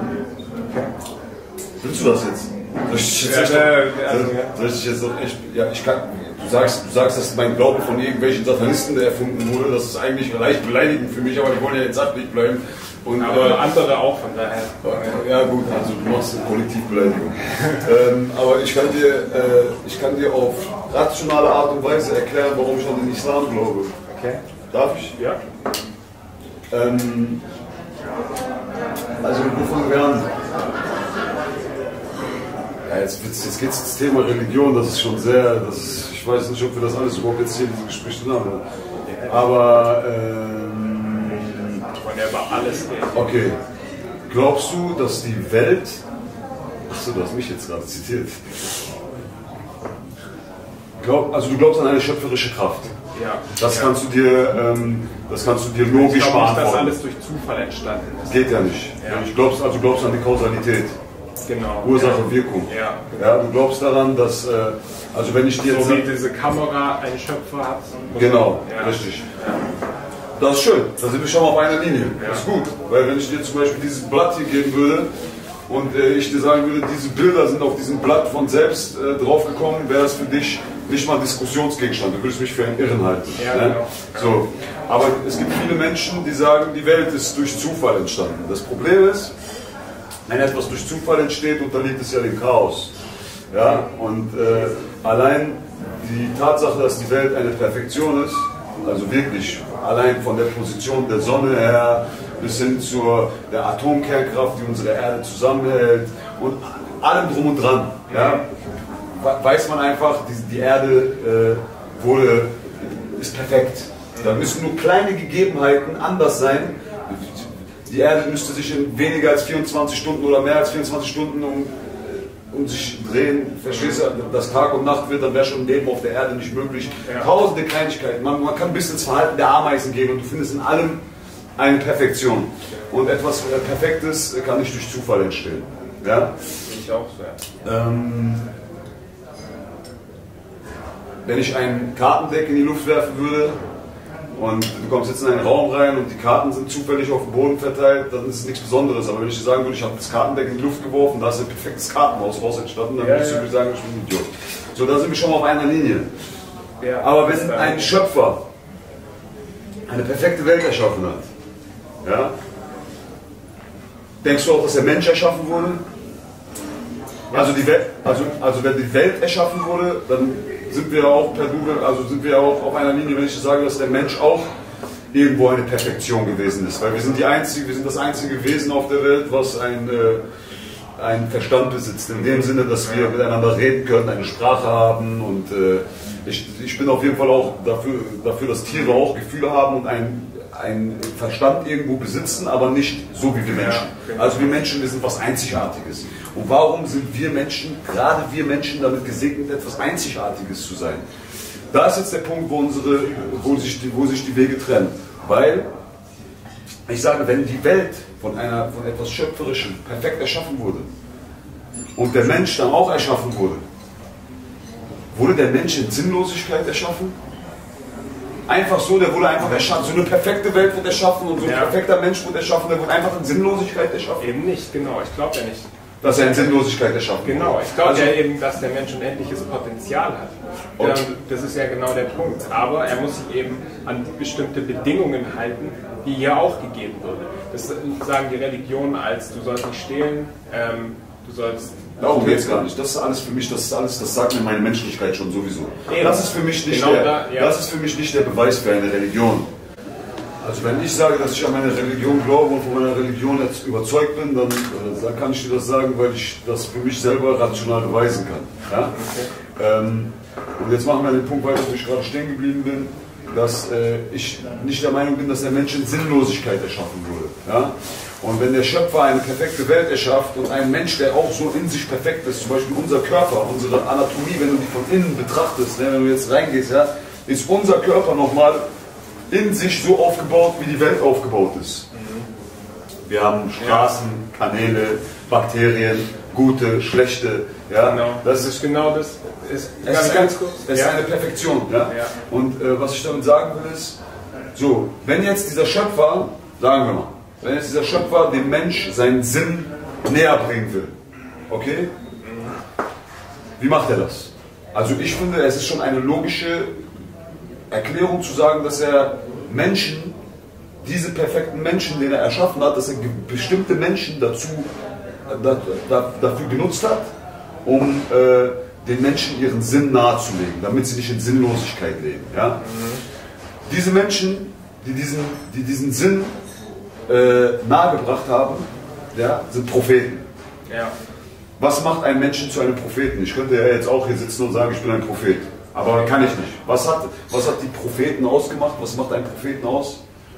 Ein Prophet ist jemand, der ein Naturgesetz brechen kann. Okay. Der etwas Unnachahmbares machen kann. Okay? Ja. So. Da gibt es zum Beispiel den Propheten, also für uns auch ein Prophet, für uns Muslime auch, aber den Pro- Propheten, der die Tora sozusagen herabgesandt hat. Für die Menschen, oder beziehungsweise herabgesandt von Gott, aber der die Tora übermittelt hat, für Gott. Ja, das ist bei den Christen Moses, Ja. bei uns äh, Muslim heißt äh, Musa alles.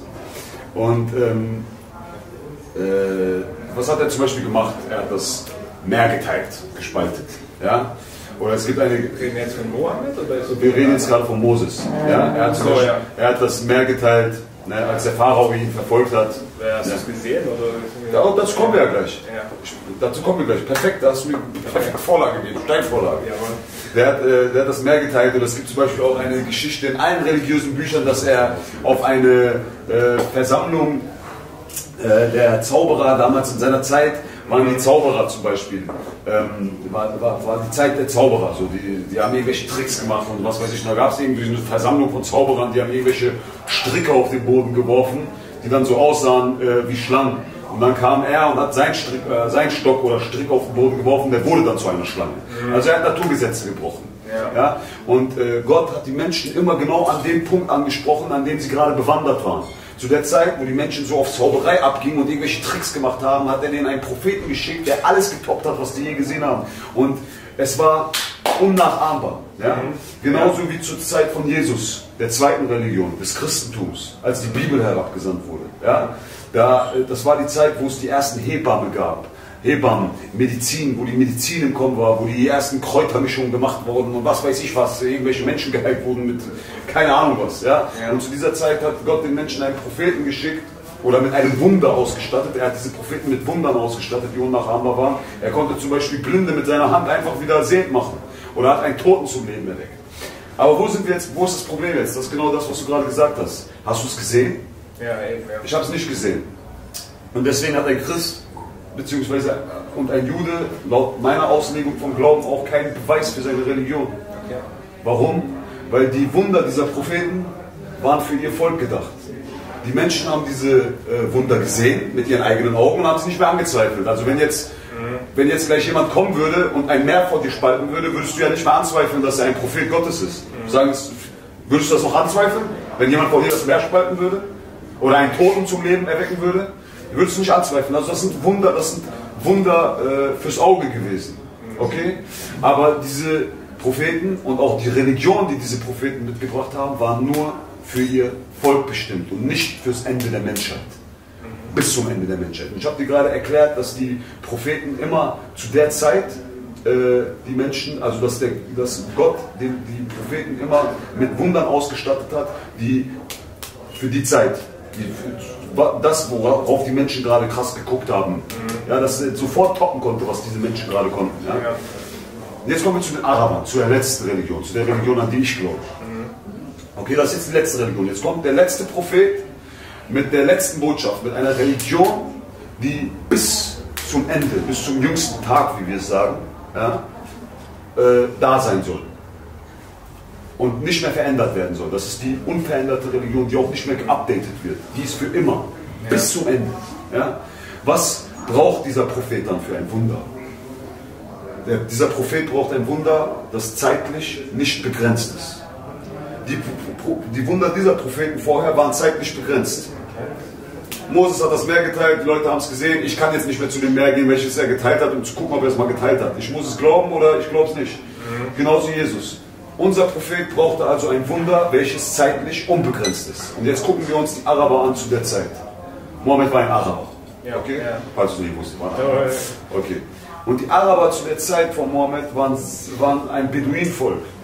Die hatten gar nichts. Die hatten weder politische Macht, noch hatten die Waffen, noch hatten die hatten nichts. Gar nichts. Das Einzige, was sie hatten, war ihre Sprache. Das war das Einzige, was sie hatten. Das Einzige, worin sie wirklich gut waren, war ihre Sprache. Und sie waren eingekesselt sozusagen von äh, Persern. Persern war eine Großmacht, meine Vorfahren. Blüzer auf der anderen Seite. Und die waren einfach auf, ihrer, auf ihrer, ihrem kleinen Boden und hatten nichts anderes als ihre Sprache.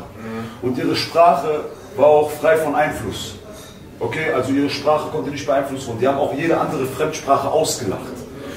Und die Araber waren damals sehr bewandert in der Poesie. Das waren die besten Dichter ihrer Zeit. Die haben sich auf, das kann ich sehr gut nachvollziehen als Rapper, die haben sich auf der Straße gegenseitig mit Poesie gebettelt, sozusagen. Natürlich nicht so primitiv wie wir Rapper, aber die haben sich mit Poesie gegenseitig runtergemacht. Mit krassen Gedichten und was weiß ich was. Und zu der Zeit hat äh, Gott den, den, äh, unseren Propheten mit einem Wunder ausgestattet, welches zeitlich unbegrenzt war. Also unser Prophet hatte kein Wunder fürs Auge, er hat kein Meer gespalten oder irgendeinen Toten zum Leben erweckt, wie es Jesus getan hat. Woran ich glaube. Ich glaube daran, weil unser Prophet und unser Buch das sagt. Aber unser Buch, woran ich am Ende des Tages glaube, muss mir einen rationalen Beweis für mich liefern, den ich nachvollziehen kann, dass ich daran glaube. Und dann glaube ich auch an alles, was in diesem Buch steht. Und in diesem Buch steht auch, dass Moses das Meer geteilt hat. Und in diesem Buch steht auch, äh, dass Jesus äh, äh, die, die Toten lebend gemacht hat. Ich brauche nur einen Beweis dafür, dass dieses Buch von Gott ist. Danach glaube ich alles, was in diesem Buch steht. Fertig aus. Ja? So. Und äh, Mohammed war Analphabet. Das können wir aber auch, äh, das können wir aber auch, das kann ich dir ja nicht beweisen, dass er Analphabet war. Das kann für dich auch ein Märchen sein, meinetwegen. Ja? Fakt ist, er kam mit etwas, also damit ich das kurz festlege, unser Wunder, dieses Wunder, was zeitlich unbegrenzt war, war der Koran. Einfach nur ein Buch. Ein Buch. Ein Buch. Aber warum war der Koran ein Wunder? Weil der Koran jegliches, die, die, die Sprache des Menschen unterliegt auch Gesetzen. Und der Koran bricht jegliches Naturgesetz der Sprache. Jegliches Gesetz. Und der, unser Prophet Mohammed ist damals gekommen und hat nur angefangen, aus dem Koran zu rezitieren. Ja? Und äh, die Menschen haben, so, haben, sofort gesagt, das kann, das kann von keinem Menschen gekommen sein. Warum? Erkläre ich dir jetzt ganz rational. Die Sprachgattung des Menschen, also die Sprache des Menschen, unterliegt zwei Sprachgattungen.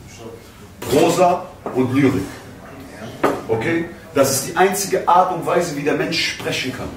Das, was ich jetzt gerade mit dir mache, ist Prosa. Ich unterhalte mich mit dir. Ich, äh, ich erkläre dir etwas, ich rede mit dir über diese komischen Themen, über die wir uns hier unterhalten, über alles. Das ist Prosa. Okay? Und es gibt Lyrik. Lyrik bedeutet das, was ich mache. Raps, Rhetorik, Dichte, Emotionen, Gedichte mit Reimen verpackt. Ja? Was der Mensch aber nicht kann und nie können wird, es ist Fakt, ja? ist beides auf einem Niveau stattfinden zu lassen. Und das kann ich dir, das kann ich dir, äh, das kann ich bestätigen als Rapper. Das heißt, beispielsweise, du sagst jetzt zu mir, äh, okay, das, nee, das ist eine echte Pflanze. Das ist kein Plastik. Du sagst jetzt zu mir, schreib mir ein Buch über diese Pflanze. Ich will, dass du mir diese Pflanze wie ein Biologe perfekt erklärst. Perfekt.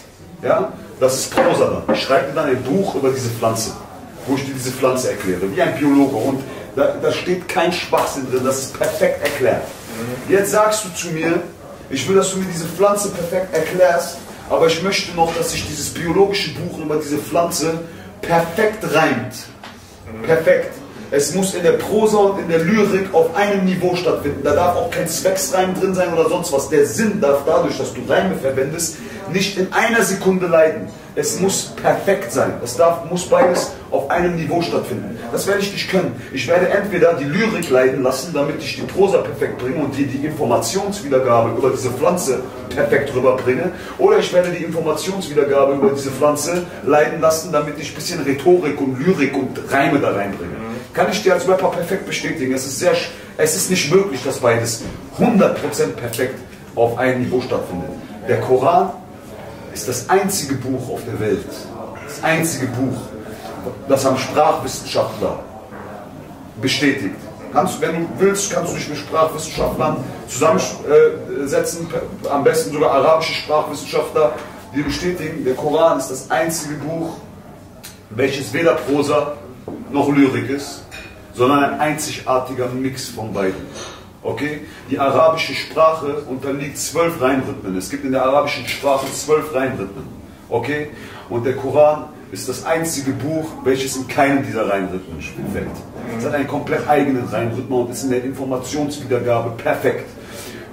Das ist jetzt für dich, wenn ich jetzt einen arabischen Sprachwissenschaftler hier hätte und einen Koran, könnte ich dir das zeigen. Da gibt es Dinge, wenn du dir den Koran anguckst, die du wirklich anguckst und ihn verstehst auf Arabisch, ja, nicht auf Deutsch. Wenn du ihn auf Deutsch liest, wenn du die Übersetzung davon liest, geht das Wunder verloren. Das ist nur eine Übersetzung, eine ungefähre Bedeutung der Übersetzung. Du musst ja einen arabischen Sprachwissenschaftler holen, der sich dieses Buch mit dir vornimmt und du wirst sehen, dass dieses Buch wie ein Code aufgebaut ist. Perfekt. Perfekt in den Abschnitten, in den Absätzen und in der Bedeutung. Im Koran wurde vor 1400 Jahren erklärt, wie ein Embryo entsteht. Okay, im Bauch der Mutter. Also ich weiß nicht, wie ein Araber der Analphabet ist, weil es ist ja so, wenn du, wenn man sagt, der Koran kommt nicht von Gott, dann heißt es, dass der Prophet, unser Prophet Mohammed das erdichtet hat, sich das ausgedacht hat, einfach aufgeschrieben hat. Ja? Und äh, wie soll ein, ein Araber vor 1400 Jahren, der Analphabet war, mir erklären können, wie ein Embryo entsteht? Ja? Oder dass im Koran steht, dass Süßwasser sich nicht mit Salzwasser vermischt. Ja. Im Koran stehen tausende Dinge, die irgendwelche Wissenschaftler in den letzten 100 Jahren äh, festgestellt haben und irgendwelche Nobelpreise dafür bekommen haben. Und das Ganze in einem Buch, was rhetorisch in der Rhetorik, in der Lyrik perfekt geschrieben ist. Ja, perfekt. Ich könnte, auch, ich könnte auch das Thema noch mit dir jetzt Ja, ich würde da noch gerne drauf eingehen, weil ich finde es interessant, weil ich würde gerne wissen, was du dann vom Islam als politische Ideologie eigentlich hältst. Weil ich weiß zum Beispiel, dass... Du Beispiel, Ja, weil ähm, da macht man sich ja... Ich habe schon mal mit einem Rapper gesprochen, der mir das erklärt hat und der meinte dann zu mir, ähm, ich darf nicht in die Öffentlichkeit gehen mit sowas, weil da machst du dich bei 80 bis 90 Prozent der Moslems unbeliebt, weil er glaubt nur an den Koran. Und er sagt zum Beispiel, meine Frau muss kein Kopftuch tragen, weil es gar nicht im Koran steht. Und weil es nur angeschlossen ist an die Geschichten mit Mohammed und die Hadithe. Und, ja, und da wollte ich dich einfach fragen, was du da glaubst, ob denn jetzt die Frau dazu gezwungen wird, äh, das Kopftuch zu tragen oder ob die, ob die es muss, weil der Prophet es gesagt hat, oder ob du mit dem eigentlich mit 80 oder sagt, weiß, weiß ich, vielleicht 70 Prozent schwer, dann eine Zahl zu nennen, mit einem großen Teil der Mainstream-Moslems äh, nicht einer Meinung bist. Das würde mich interessieren. Ich sage dir, was für mich feststeht, ist, dass dieses Buch, der Koran, von Gott kommt. Ja. Das habe ich dir gerade auch noch nicht perfekt. Ich kann da noch reingehen. Wenn ich das hier hätte, dann könnte ich dir noch Dinge zeigen, die unglaublich sind. Unglaublich sind. Wirklich unglaublich sind. Ja. Ja? Also für mich steht fest, dass dieses Buch von Gott kommt. Das ist das Einzige, was für mich feststeht. Zu 100 Prozent. Okay? Ich bin kein 100% praktizierender Muslim, leider Gottes. Ja, ich bin zurzeit auch geschwächt zum Beispiel. Ich bin nicht stark im Glauben. Ja? Ich weiß, dass es mein Glaube ist, dass dieses Buch 100% von Gott kommt. Und ich hoffe, dass ich mich mit meinem Glauben noch festigen und stärken kann. Diese Fragen, die du mir jetzt stellst, sind politische Fragen und sind Fragen, die weitergehen. Glaubst du an die Hadithe? An wessen Hadithe glaubst du? Glaubst du an alle Hadithe? Und wenn ich dir darauf jetzt eine Antwort geben würde, dann äh, das ist nichts, was 100% sicher ist. Ich sage dir, dieses Buch kommt von Gott. Und das kann ich rational beweisen. Alles andere kann ich nicht rational beweisen. Alles andere kann ich nur glauben. Aber ich sage dir andere Sachen. Das Problem ist, dass viele Menschen, die den Islam verstehen wollen, wenn ich jetzt zum Beispiel mit einem äh, Nichtgläubigen oder einem Nichtmuslim rede, der kommt jetzt zu mir, der sagt zu mir, äh, ja, was ist denn da bei euch mit der Scharia und der Steinigung und äh, hier und da und damit und was ist damit und was ist hiermit? Ich sage, Dicker, wenn ich mir einen Film angucke, ja, dann fange ich den Film auch nicht an, irgendwie bei Minute 50 an und äh, äh, erwarte dann, dass ich den Film verstehe. Ja. Verstehst du? Ja. Wenn ich eine Sache verstehen möchte, dann fange ich am Anfang an und gebe es ans Ende. Ich pick mir nicht die kritischen Dinge raus, die irgendwo in der Mitte, ohne ein Verständnis für diese Sache überhaupt entwickelt zu haben, pick ich mir irgendwelche Sachen raus, die für mich kritisch sind. Und dann sage ich, ja, aber wie ist das denn damit? Echt dicker, wenn du das verstehen willst und wirklich Lust drauf hast und mich nicht nur verarschen willst oder nicht nur äh, sozusagen in eine Ecke treiben willst und wirklich verstehen willst, warum das so ist, dann setz dich hin und wir fangen ganz am Anfang an. Ja, Und- also das, da würde ich gerne einhaken, weil es geht ja darum, wenn jemand das erkannt hat im Koran, was da steht und daran glaubt und dann auch an die Hadithe glaubt und zum Beispiel eine Frau das liest und sich dann freiwillig ein Kopftuch aufzieht, habe ich auch kein Problem damit, weil jeder Mensch ist der exklusive Eigentümer seines Körpers, er kann machen damit, was er will. Das Problem ist nur, ich war selber schon im Iran und ich habe damit... Du warst im Familien- Iran? Ja, ich Wo war warst in, äh, in Teheran. Ja. ja. Und ich habe da mit Familien geredet und die Leute haben mir gesagt, dass sie das nicht wollen. Sie wollen das Kopftuch nicht anziehen.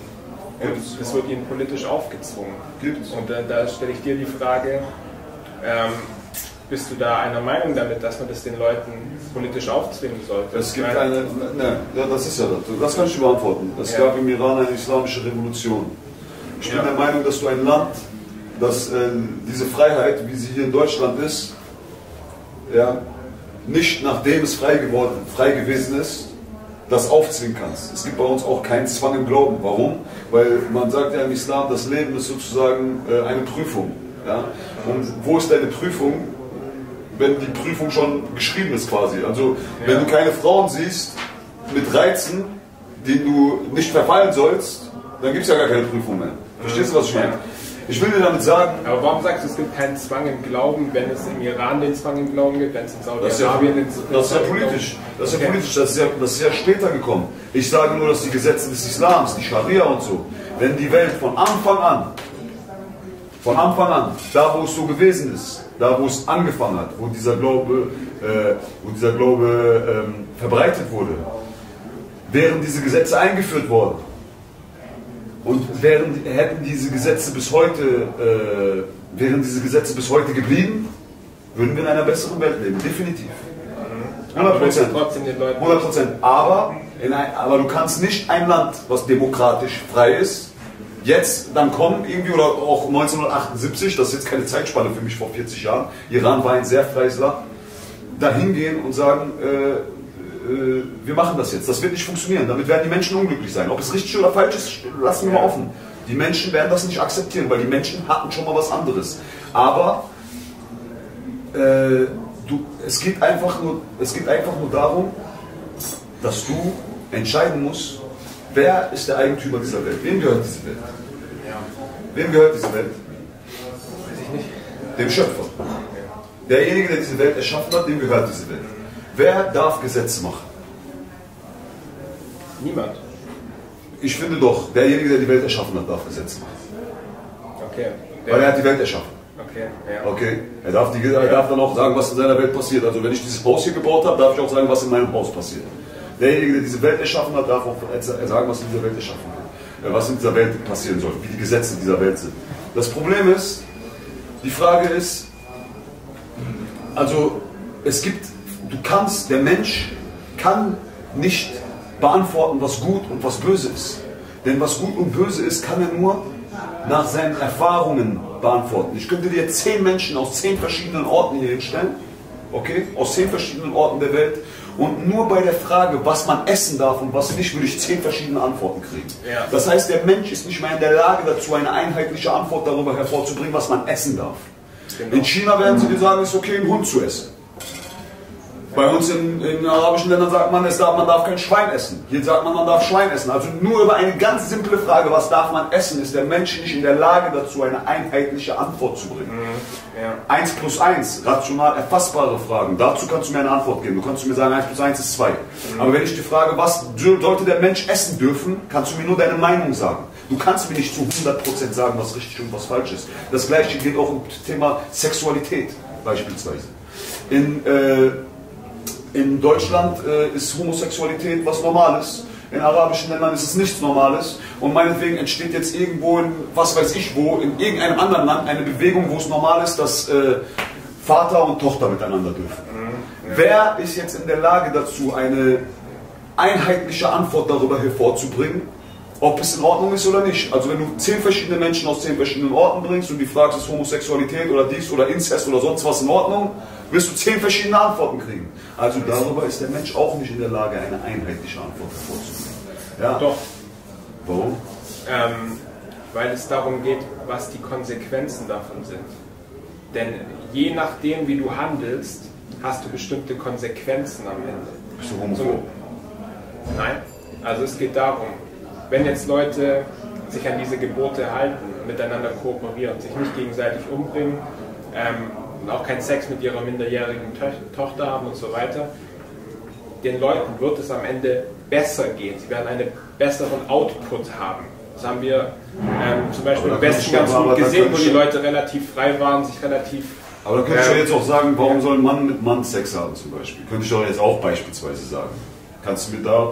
Ja, es, es würde an dem, an dem Output würde es, nichts, würde es nichts verändern, weil du hättest einfach eine, eine freie Welt mit freien Menschen, Ja, die wenn sich immer Menschen weiterentwickeln. homosexuell werden würden, dann würde die Welt sich nicht mehr weiterentwickeln.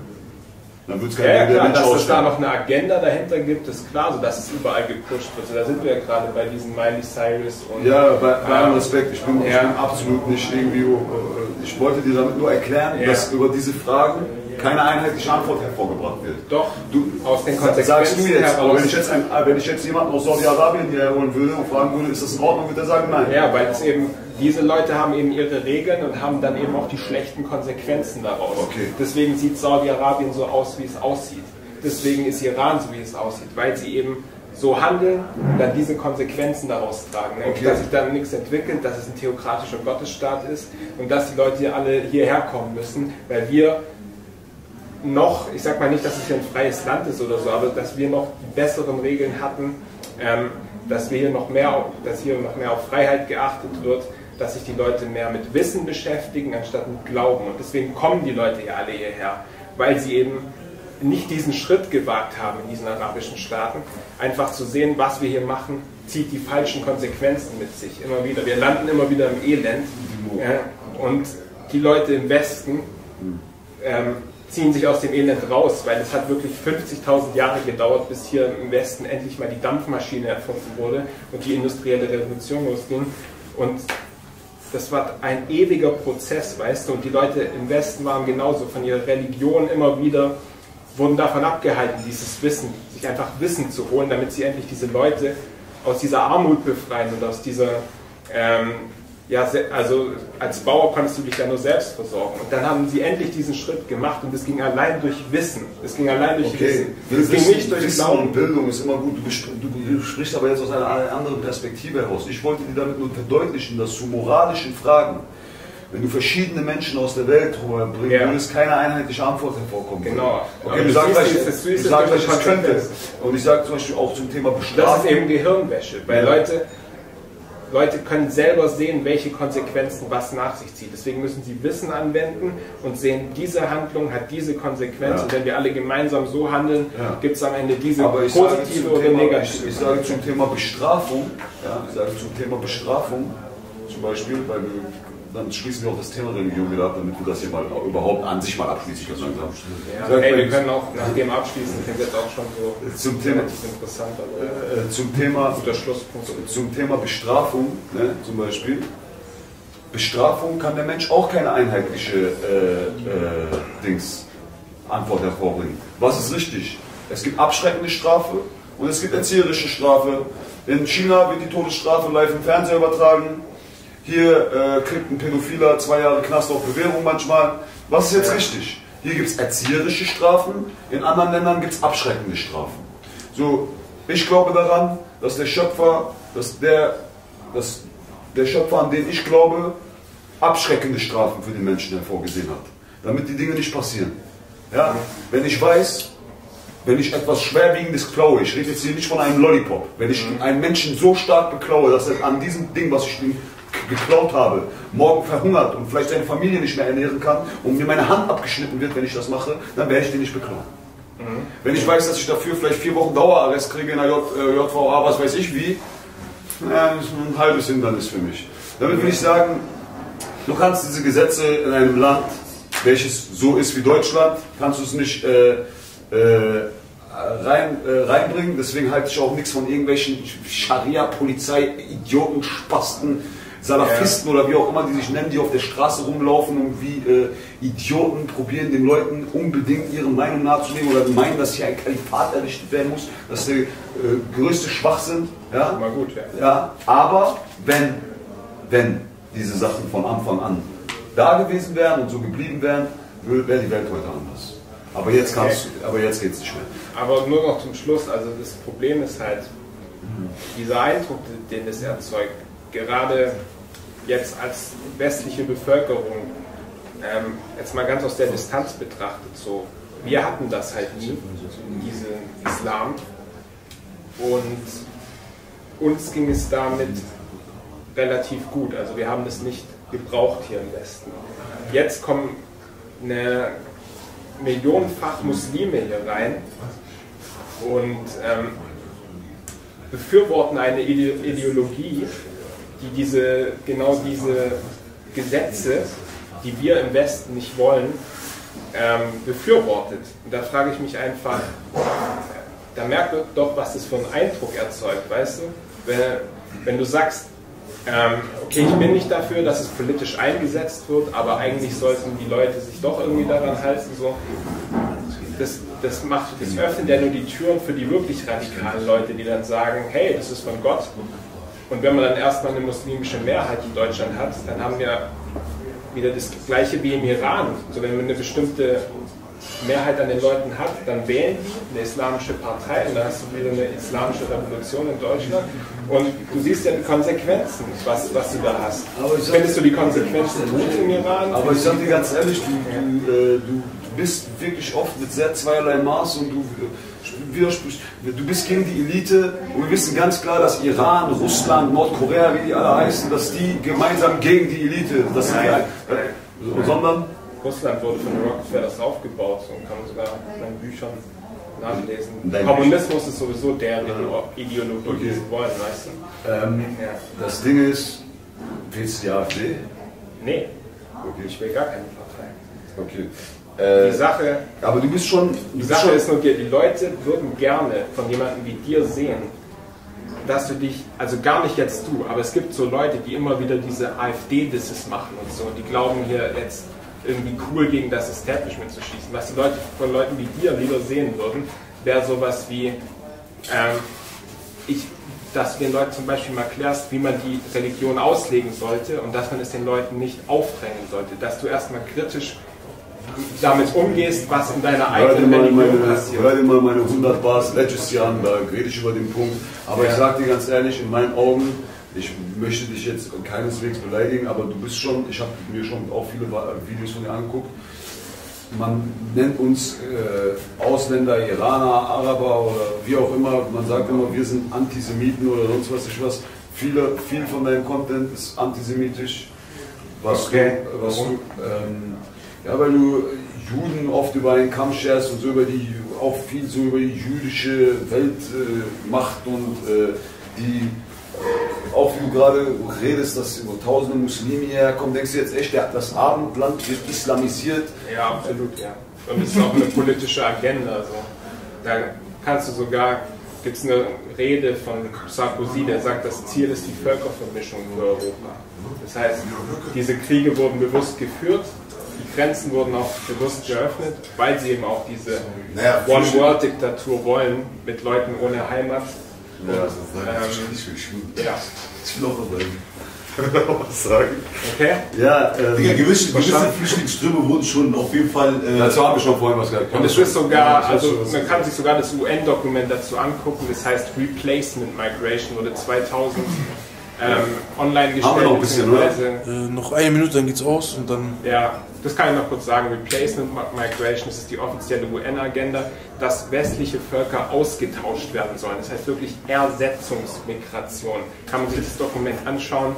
Das ist der Auf Plan jeden der Fall wollte ich Vereinten noch sagen, Nationen dieses Zeichen hier auf Mosch stehen, was tätowiert ist, das ist vom Sartusch. Das ist die Religion, die vor dem Islam äh, Jo. das, das Zeichen davon. Ne? Das haben viele Iraner. den Islam, oder? Ja, haben viele Iraner. Ja, aber er hat sich damals in jungen Jahren tätowiert, weil viele Iraner dieses Symbol halt aus traditionellen Gründen immer noch sehr gerne Ja. tragen. Äh, das wollte ich nur sagen, das hier bei ihm, dieses Dings ist für die 3.6 und äh, wir müssen das auf jeden Fall jetzt hier einmal kurz sauber abschließen. Haben wir nicht noch fünf Minuten irgendwie? Irgendwo? Doch, ich mach das jetzt nochmal von vorne. Lass uns hier äh, an der Stelle einen Punkt finden. Man muss ja, wir haben uns ja ausgetauscht. Ne? Ich, du bist nicht hier, damit ich dich hier diskreditiere vor der Kamera oder was weiß ich was. Äh, ich glaube, das hast du äh, mit vielen Aussagen manchmal schon selber. Das Ding ist, du sagst, die Leute würden das gerne von mir sehen. Ich glaube, du würdest das gerne von mir sehen. Ich glaube nicht, dass, es, äh, dass alle Leute gerne von mir sehen würden. Für mich ist Musik und Rap, es ist nicht meine Pflicht als Rapper nur das System zu bekämpfen. Ich mache gerne Musik. Ich lebe Musik. Musik ist meine Leidenschaft. Ich liebe es ins Studio zu gehen, zu produzieren, Beats zu machen, Melodien zu hören, Texte zu schreiben, geile Reime zu schreiben. Das ist mein Ding. Ja, ich habe es auch nicht auf dich bezogen. Wenn ich Es ab geht und zu, ein- es wenn ich geht das ab und allgemein- zu, wenn ich das ab und zu mal auch nutze, um was Gutes auszusagen, dann ist es cool. Aber äh, Rap heißt, Rap bedeutet auch nicht nur politisch sein zu müssen. Ne?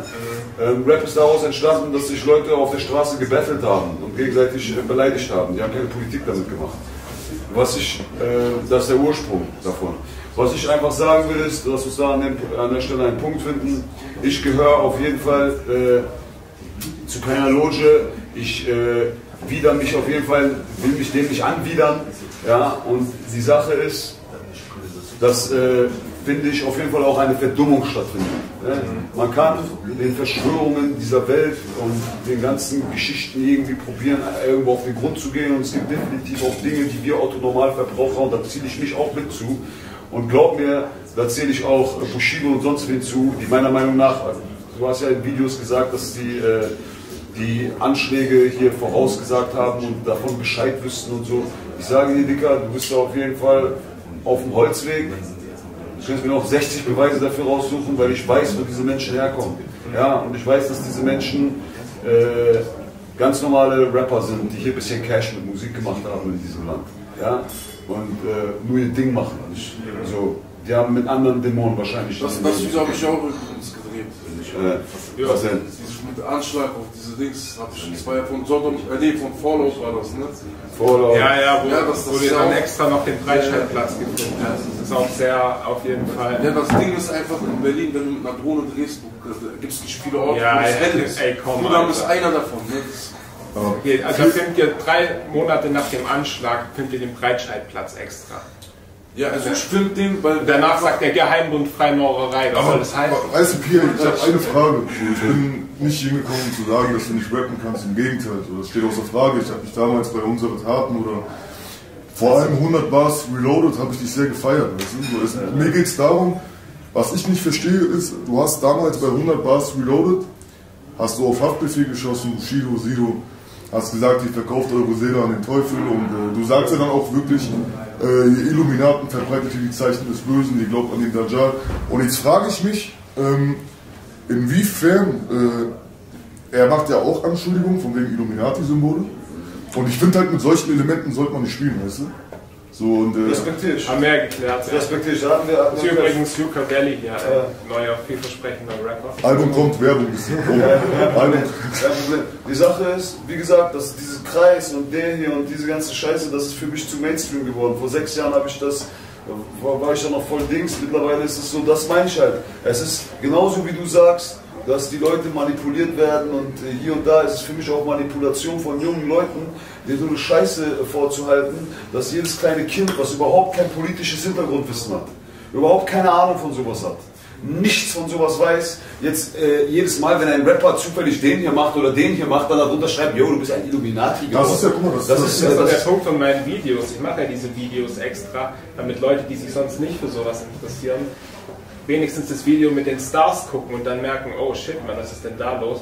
Und ich habe ich hab Ja, wirklich schon Dutzende Nachrichten bekommen, wo genau das gesagt wurde. Ich habe mich eigentlich überhaupt nicht für Politik und so interessiert, da habe ich immer deine Videos gesehen. Und äh, ich habe mich nur für diese Rapper interessiert.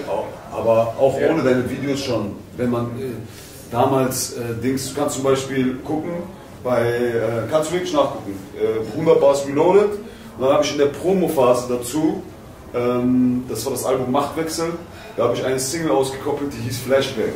Und ich habe in dem Video zu Flashback eine Greenscreen-Szene gedreht, wo ich ein rotes T-Shirt trage, wo ein Dreieck drauf war. Das war ein T-Shirt, das war ein T-Shirt von der Firma Grimy hier aus Berlin. Die haben uns ab und zu so Klamotten geschickt und ich habe das getragen. Damals hat mein Manager mich echt angefangen und gesagt, ey, das kannst du doch jetzt nicht tragen lassen. Ich hab, mir ist das erstmal nicht mal aufgefallen, das Symbol, dass diese Dinger in einem Dreieck drin waren. Da habe ich mich so aufgeregt, habe ich gesagt, Alter, jetzt come on. Verstehst du, was ich meine? Jetzt muss ich echt... Äh, Ver- Verstehst du so? Im Endeffekt, du verstehst das bestimmt, wenn Leute das kritisieren, wie du das damals bei denen kritisiert hast. Ich bin zum Beispiel jemand, ich kritisiere das, weißt du, so, ich kritisiere das nicht aber wenn es auch dem gesehen. Text verpackt ist. Ja, aber weißt du, mit solchen Elementen, was Ich sag, schwer, da steht eine 66 an der Zellentür und da kommt der rein, der rappt gerade über eine Frau, darüber, dass man für seine Frau, die man liebt, zum Mörder wird und der sagt, ich baller sechs Salben durch deine Drecksscheiben oder was weiß ich was, oder rappt, okay? Und äh, Ja, gut, da, wir macht man, ja alles jetzt da, gesagt. macht man, da macht man daraus 666. Die Sache ist einfach, äh, lass uns an den, an, den, an den Punkt beenden. Da habe mich gefreut, dass du hier warst. Was ich zum Abschluss nur sagen kann ist, wir sind in vielen Punkten, sage ich dir ganz klar, natürlich, so, es gibt Dinge auf der Welt, die wir nicht wissen, die wir nicht kennen. Es gibt Ungerechtigkeit. Es, äh, wir leben nicht in einer perfekten Welt und auch das System ist nicht perfekt. Kein System auf dieser Welt ist perfekt. Aber man sollte nicht alles verteufeln und man sollte nicht so negativ durch die Welt gehen wie du, weil das macht unglücklich und krank. Und ich möchte, dass die jungen Leute da draußen glücklich sind und ihr Leben leben und äh, ihr Leben bereichern, indem die reisen, viel sehen, viel von der Welt sehen, äh, lernen, sich bilden, äh, keine Ahnung, ihr Abitur machen, studieren gehen, arbeiten gehen, äh, finanziell stark sind, um sich einfach die Dinge in ihrem Leben leisten zu können, die sie glücklich machen. Und man braucht sich nicht mit Themen verrückt zu machen, an denen man am Ende des Tages nichts ändern kann. So, und wenn man, das, wenn man sich das zu seiner Lebensaufgabe macht, ja, jeder. Okay. Nein, für Ich muss da jetzt auch abschließend eigentlich nichts Ich denke, ja, das, was du sagst, hat für sich gesprochen, das, was ich sage, hat auch für sich gesprochen und ich denke, die Zuschauer können sich da ein eigenes Bild machen. Definitiv. Also das Also, Video geht jetzt, ich danke dir auch, das Video geht jetzt knapp zwei Stunden. Ich gucke, wann bis raus und irgendwann demnächst. Wir machen noch gerade ein bisschen Promo auf unserem Channel für ein ultimatives Album von Mo Phoenix, der übrigens auch zu keiner Loja angehört. Wir sind live is Berlin, wir gehören zu keiner Loja an. Wir machen, wir sind einfach nur Rappers. Ich komme aus Essen, ich war auf der Lenzberg Grundschule, danach war ich auf dem Gymnasium, ein paar Jahre, bis ich runtergeflogen bin. Mich hat niemand korrumpiert. Auf jeden Fall äh, alles ganz normal. Alles, wirklich alles, ja. Dankeschön. Peace.